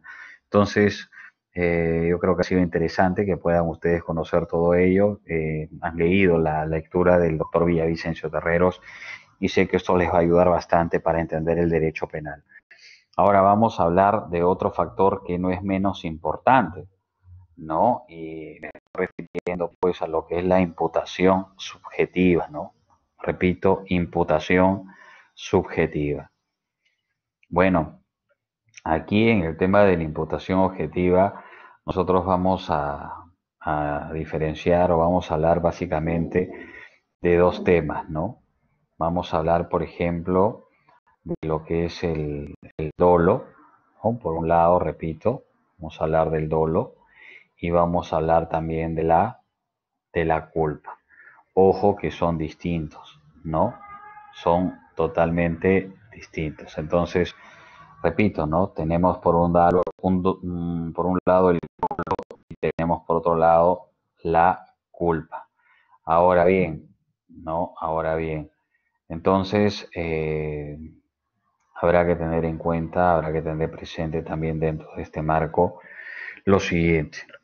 Cuando nosotros hablamos de los elementos subjetivos del tipo penal, ya no nos referimos a una revisión o a un tema de verificación externa, ¿no? De lo que se pueda verificar o se pueda ver desde un punto de vista objetivo, sino eh, al contrario, tendremos que analizar cuáles fueron los componentes subjetivos internos, ¿no? Eh, valorativo, si quieren llamarlo así, del sujeto activo, de la de la persona que termina cometiendo el acto delictivo.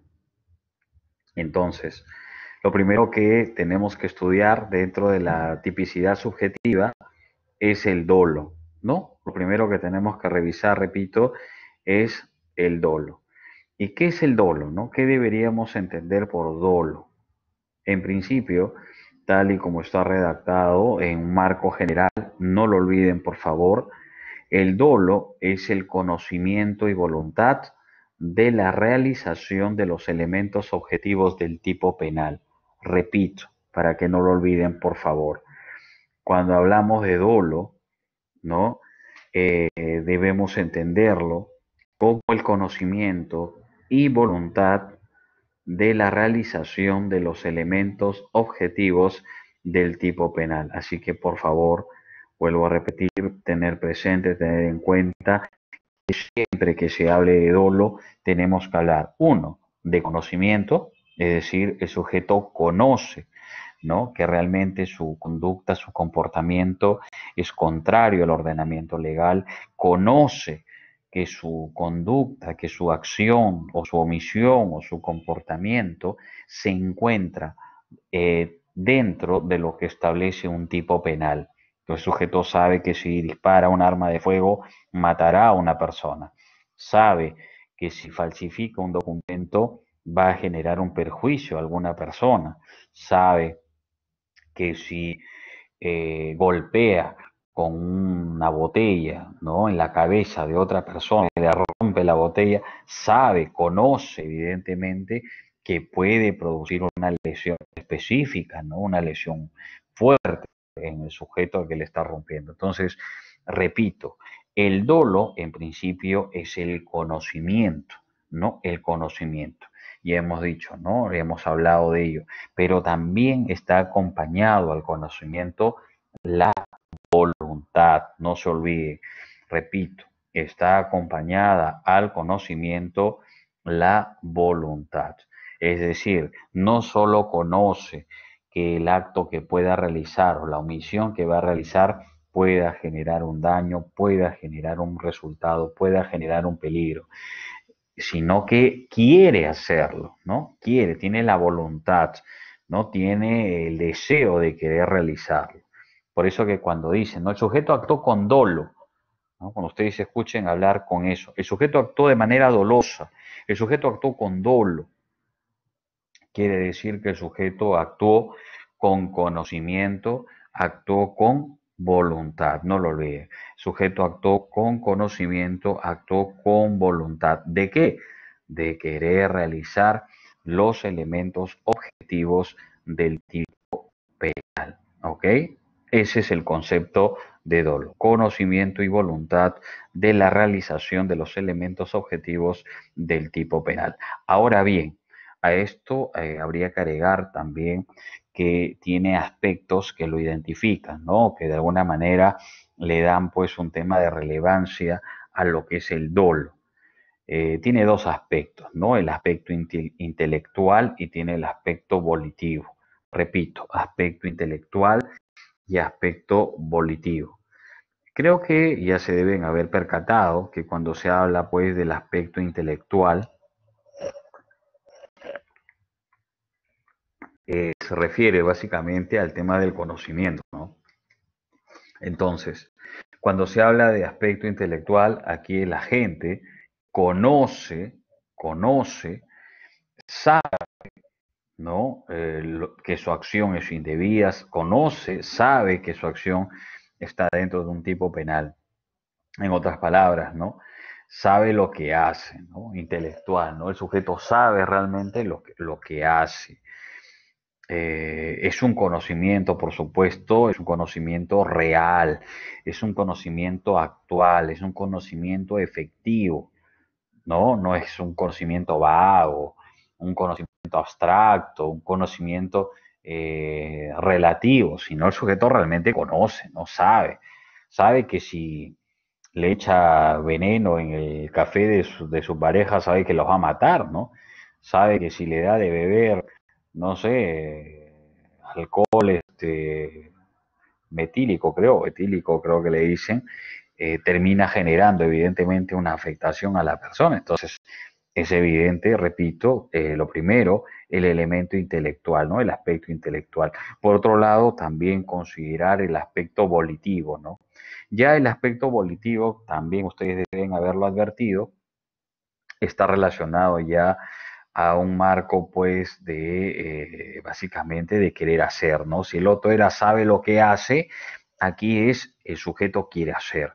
Por lo tanto, se considera el aspecto volitivo como una facultad ¿no? de, de, autodeterminarse, ¿no? de, de autodirigirse hacia un fin específico, ¿no? O sea, el sujeto sabe lo que quiere, uno, intelectual, ¿no? Sabe lo que hace y también aspecto volitivo, ¿no? Quiere hacerlo, eh, quiere realizarlo, busca realmente, ¿no? Un resultado, ¿ok? Entonces, saben el concepto general, el dolo, conocimiento y voluntad de la realización de los elementos objetivos del tipo penal y que contiene dos elementos, el intelectual y el volitivo. Muy bien, pero no solamente ello, ¿no? Tenemos dentro de este marco eh, lo que es el dolo directo y tenemos al dolo eventual. Repito, tenemos al dolo directo y tenemos el dolo eventual. ¿ok? Dolo directo y dolo eventual.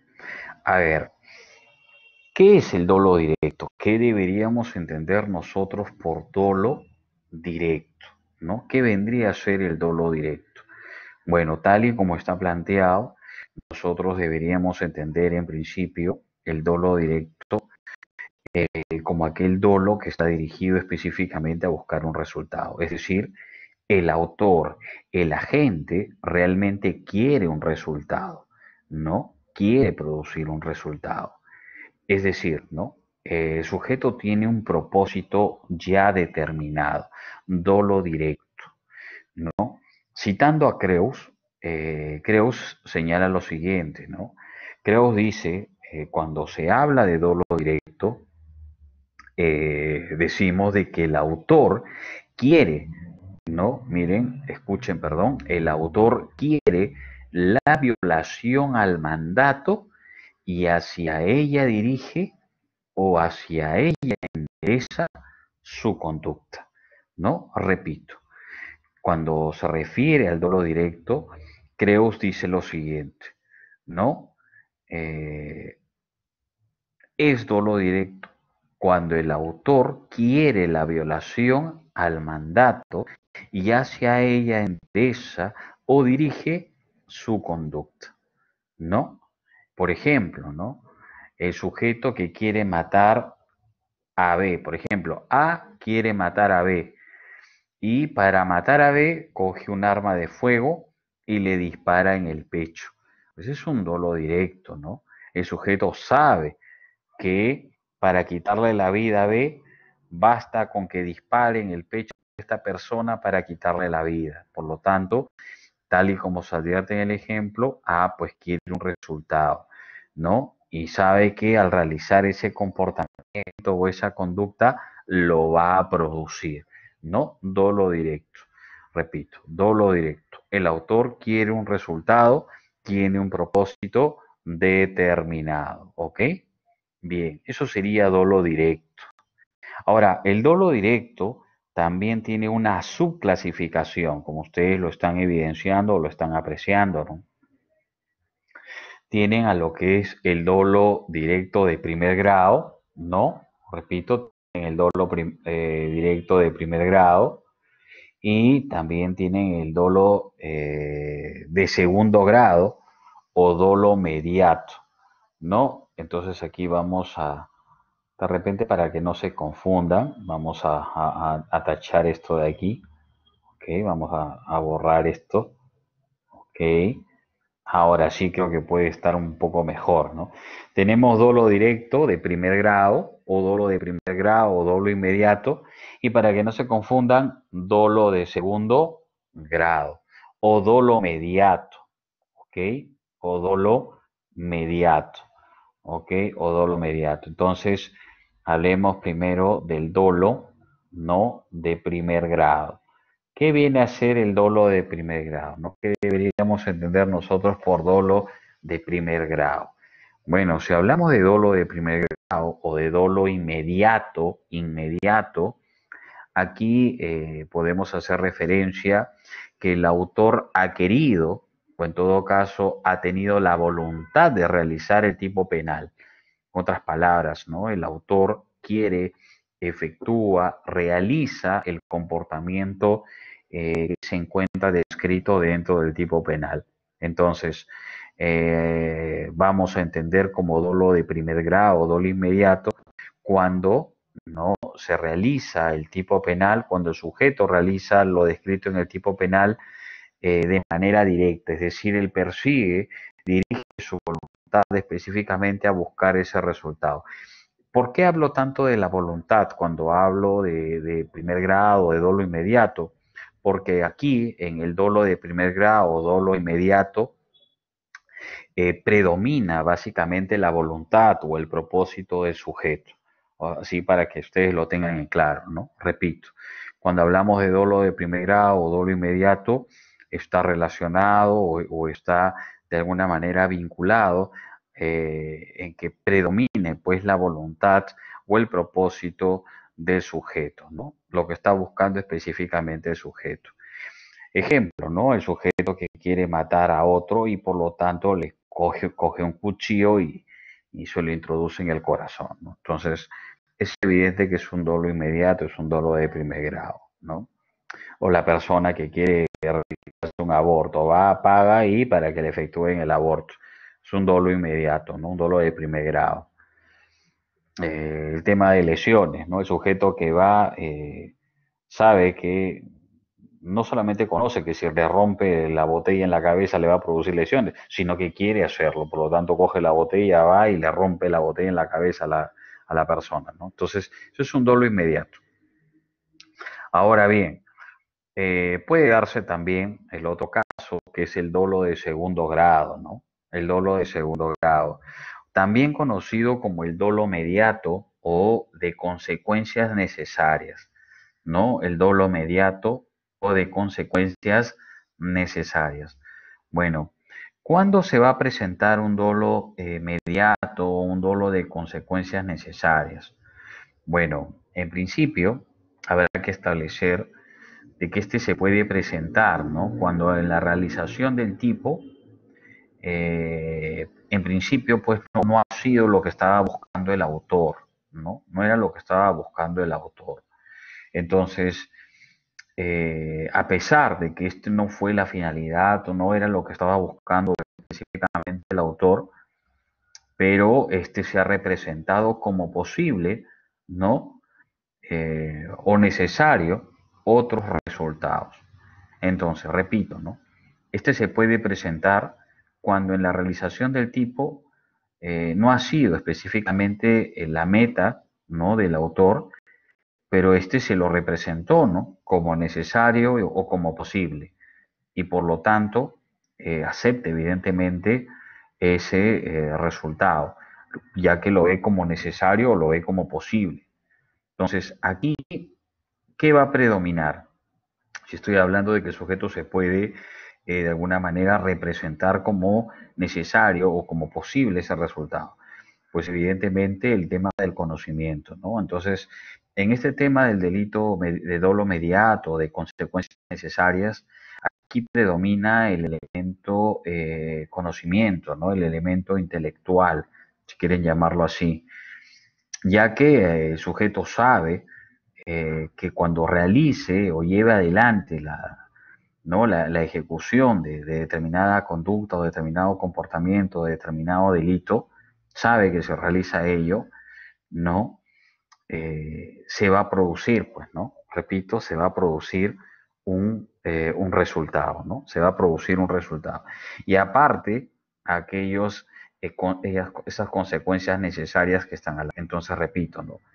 El sujeto sabe que al realizar la conducta típica, necesariamente va a producir otros hechos típicos también o otros hechos antijurídicos. A ver, ¿tienen un ejemplo, por favor, para que lo puedan plantear? A ver, un ejemplo de dolo de consecuencias necesarias. ¿Ok? A ver, por favor.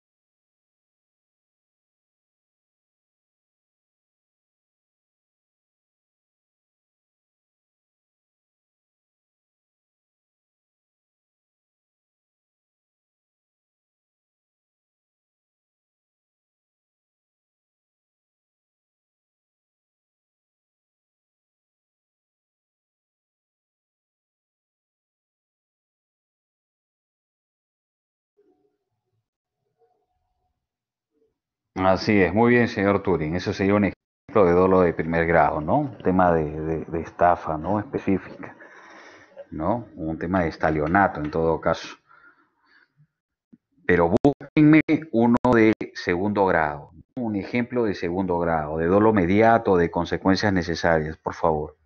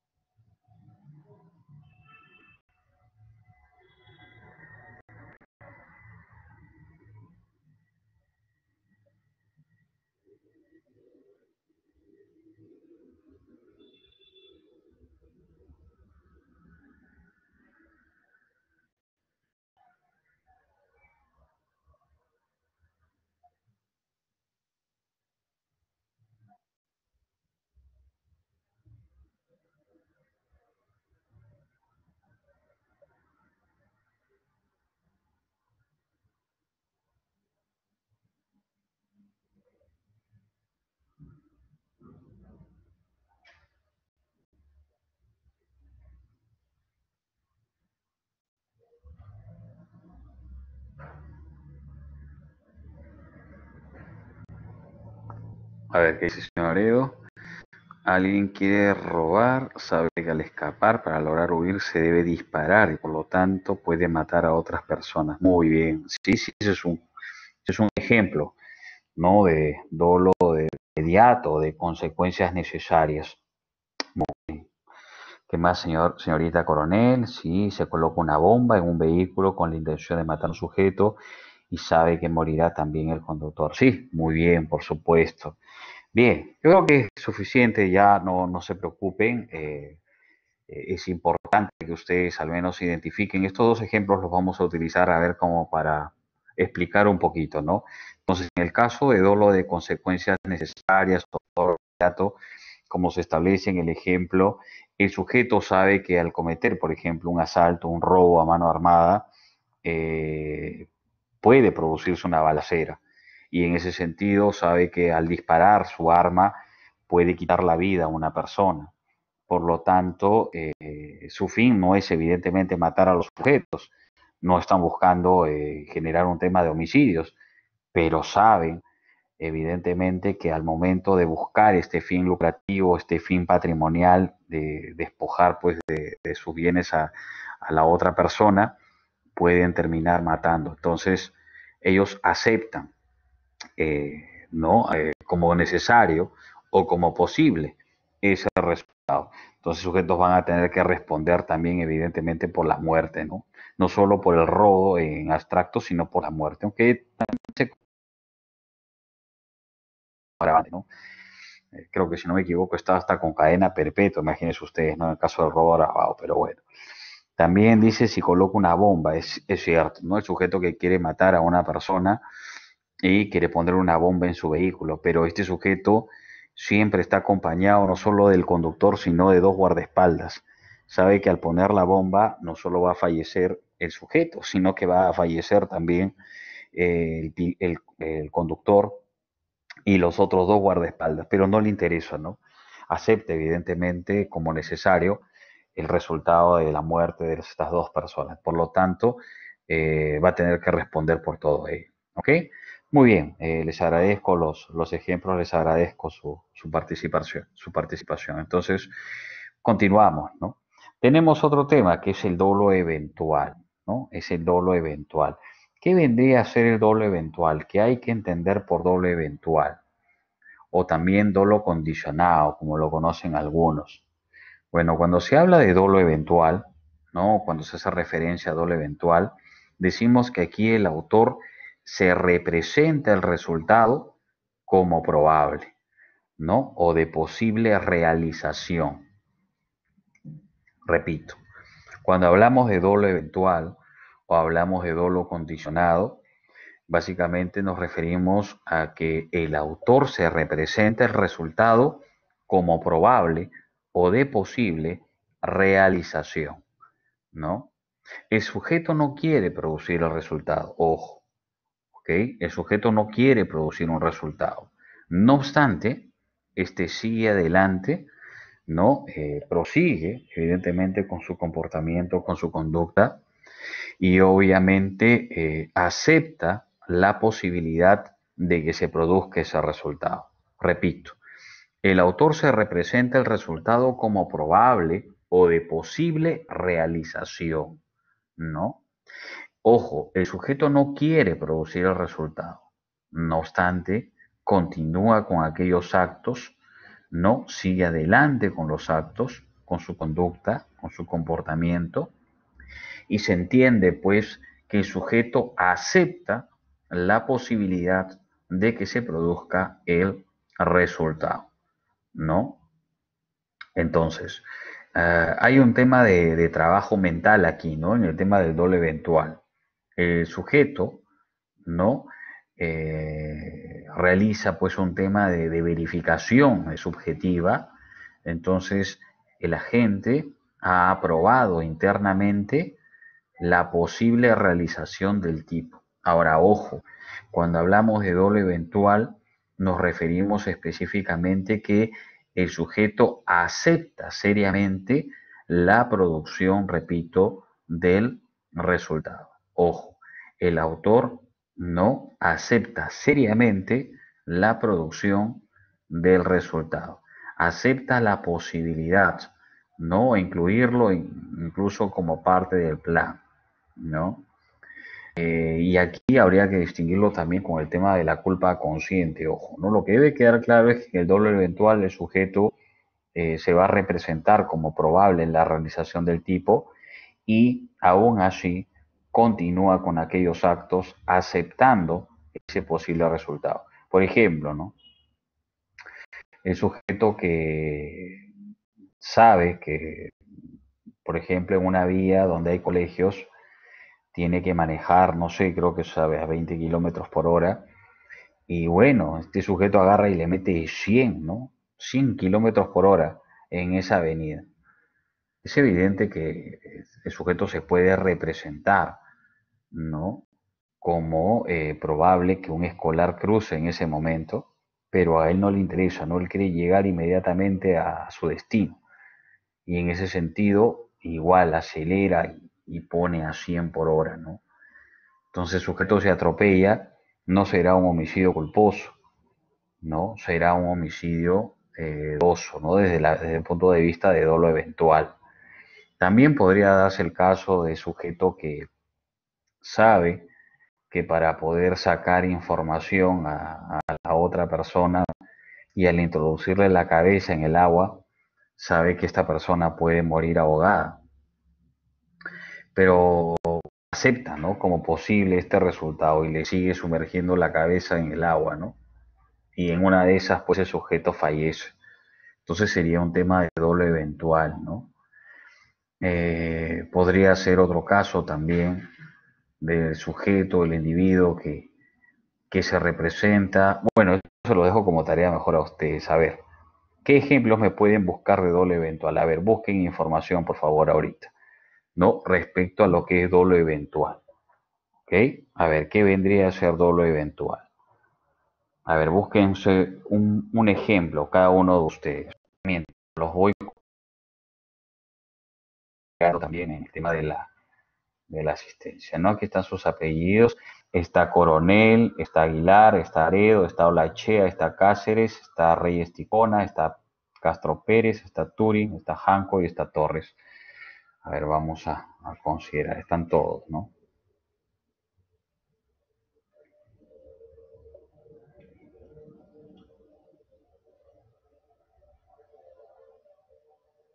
A ver qué opinan, qué dicen.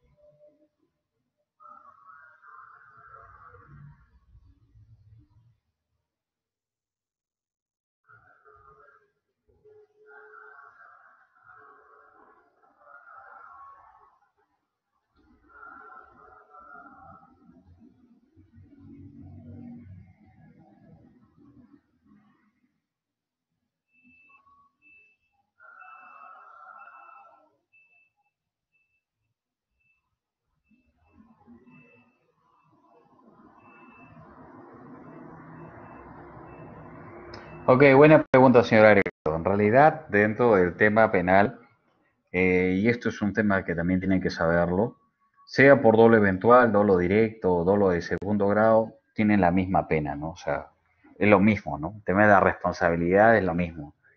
La única diferencia es con el tema de la culpa, pero en principio el dolo eventual, el dolo directo, el dolo de segundo grado terminan configurando la misma, el mismo tema de sanción, ¿no? Lo que sí tratan de hacer es más bien desvirtuarlo y tratar de llevarlo hacia lo que es la culpa consciente.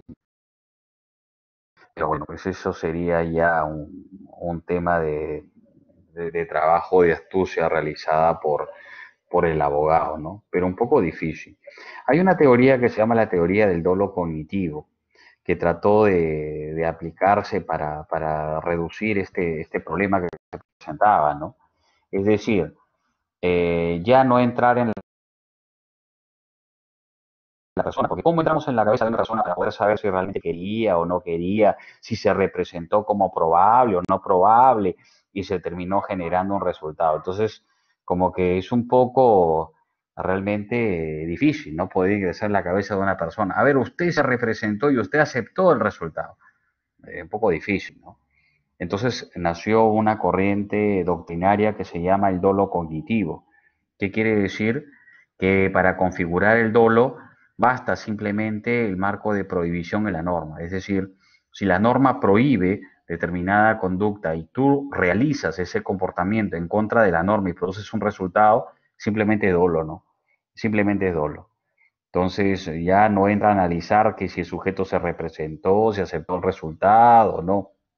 Pero bueno, es un tema doctrinario, es un tema de discusión. Eh, hay resistencia aún dentro del sistema para poder incorporar esta figura del dolo cognitivo, ya que es lesivo, ¿no? Eh, no es garantista para nada, ¿no? Es más bien dentro de las figuras del derecho penal del enemigo, donde ya se busca generar un tema de responsabilidad eh, objetiva, llamémoslo así, ¿no? A ver qué dice por aquí. Por eso los mediante al argumento que usan algunos abogados para reducir. No, ya lo hablamos. Es una pelea puñetazos. Uno le propina varios golpes que después le produce la. Bueno, habría que analizar, ¿no? Habría, habría que ver en realidad. Pero bueno, eso va a quedar como, como un trabajito eh, aparte para que ustedes lo puedan efectuar. Lo que debe quedar claro, repito, es que en el caso del doble eventual, el sujeto se representa como probable, se representa como un resultado y acepta, acepta ese posible resultado, continúa con los saltos, continúa con las acciones tendientes no a llevar adelante este tipo de actividad. Bien, para cerrar la idea, ¿qué es culpa? ¿Ok? A ver, para poder cerrar la idea, ¿qué es culpa? A ver, ¿qué, qué viene a ser la culpa dentro de lo que es la, la imputación subjetiva, ¿no? Repito, dentro del marco de la imputación subjetiva. ¿Qué viene a ser la culpa? Bueno, en principio, cuando hablamos de culpa, hablamos de aquel comportamiento o de aquella conducta llevada eh, adelante con, no lo olviden por favor, con negligencia, con imprudencia, con impericia, ¿no? Repito, llevada adelante con negligencia, imprudencia, impericia, culpa. Entonces, eh, hablar de la culpa es hablar de la inobservancia, ¿no? De un deber objetivo de cuidado. Eh, es ser negligente respecto al cumplimiento de los deberes objetivos de cuidado. Es ser imprudente, ¿no? Eh, estar dentro de un marco de impericia no dentro de estos supuestos. Eh, podríamos trabajar y decir en general, por eso también lo vamos a desarrollar eh, después, ¿no? Eh, sería interesante poder mencionar que para hablar de culpa o para hablar de un delito culposo, este debe encontrarse necesariamente debidamente tipificada, ¿ok? Entonces, se establece desde un punto de vista práctico y real ¿no? Repito, eh, por ejemplo, ¿no? E, el tema de que cuando se habla, repito, de un delito culposo, necesariamente esto tiene que estar establecido en la ley. A ver, ¿qué dice profesor? Envíe un ejemplo, dos mensajes arriba, por favor, podría verlo. A ver, no, no los he verificado. A ver, un momentito. Cuando el delincuente en su fuga sube a un vehículo de transporte público y toma de rehenes a los ocupantes, se constituye como un ejemplo de dolo eventual. Yo creo que sería más un tema de, dolo de consecuencias necesarias, señor Turi. ¿no? Sería de repente más orientado a un dolo de consecuencias necesarias, porque sabe evidentemente que en ese marco puede producirse una serie de actuaciones, ¿no? Yo creo que sería más un tema de dolo con consecuencias necesarias. Eh, bien, gracias, le, agradezco. Por otro lado, eh, repito, eh, el tema culposo, no lo olviden, por favor, cuando hablamos de un delito culposo, en principio hablamos desde un punto de vista del elemento subjetivo como aquel delito o como aquel elemento subjetivo que parte pues, de la negligencia, de la imprudencia, de la impericia del sujeto, que está relacionado a la inobservancia de un deber objetivo de cuidado. Ahora, un tema importante es que siempre eh, un delito culposo debe estar necesariamente establecido en la norma. No puedo yo eh, interpretar o, o suponer que es un delito culposo. No. Necesariamente tiene que decir el que por culpa ocasiona la muerte de, ah, es un delito culposo. El que por culpa termina produciendo una lesión en, ah, delito culposo. El que por culpa termina produciendo un daño, ah, delito culposo. ¿No? Entonces, repito, ¿no? Para considerar un delito como, como culposo o como culpa desde un punto de vista del elemento subjetivo, necesariamente tiene que estar establecida en la norma repito, necesariamente tiene que estar establecido, tiene que estar señalado en la norma penal. Si no lo dice, no es un delito culposo, debe ser doloso. ¿Ok? Entonces, eh, es aquel hecho también en el cual el resultado sobreviene, ¿no? de la incompatibilidad entre la conducta realizada y la acción debida que no se llevó a cabo. En otras palabras, repito, una inobservancia de un deber objetivo de cuidado. ¿Por qué? Por negligencia, por imprudencia, por impericia. Es por eso que dista, ¿no? Cambia eh, el, tema de la responsabilidad penal o de la sanción penal respecto a un delito doloso y a un delito culposo. En un lado, el delito doloso podemos ver un homicidio de 6 a 20 años y en un homicidio culposo podemos hablar de 4 años de pena, por ejemplo, hasta 8 años de pena, dependiendo ¿no? del tipo de la conducta. Entonces miren ustedes la diferencia. Eh, entre una y otra.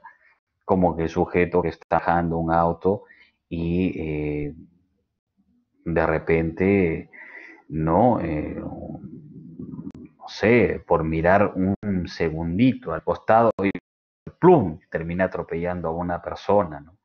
Entonces es evidente que el sujeto no ha querido matar a nadie o sea, ni, siquiera se representó, ni, ni siquiera se puso en mente que, podía atropellar a alguien y termina atropellando y termina quitando la vida a una persona.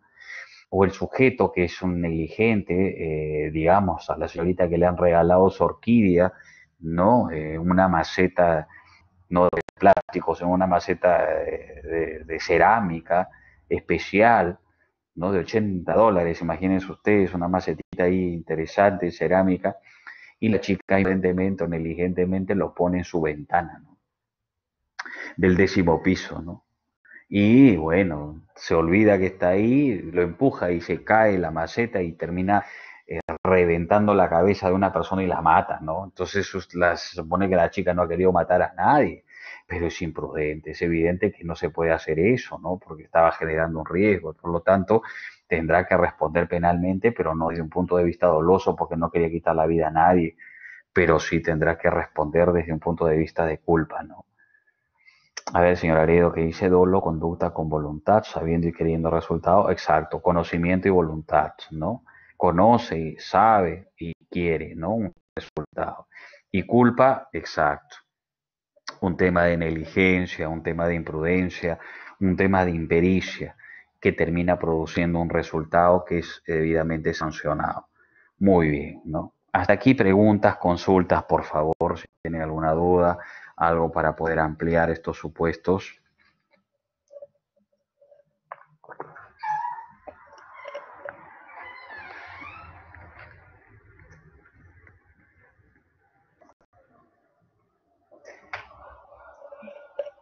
A ver, ¿qué dice?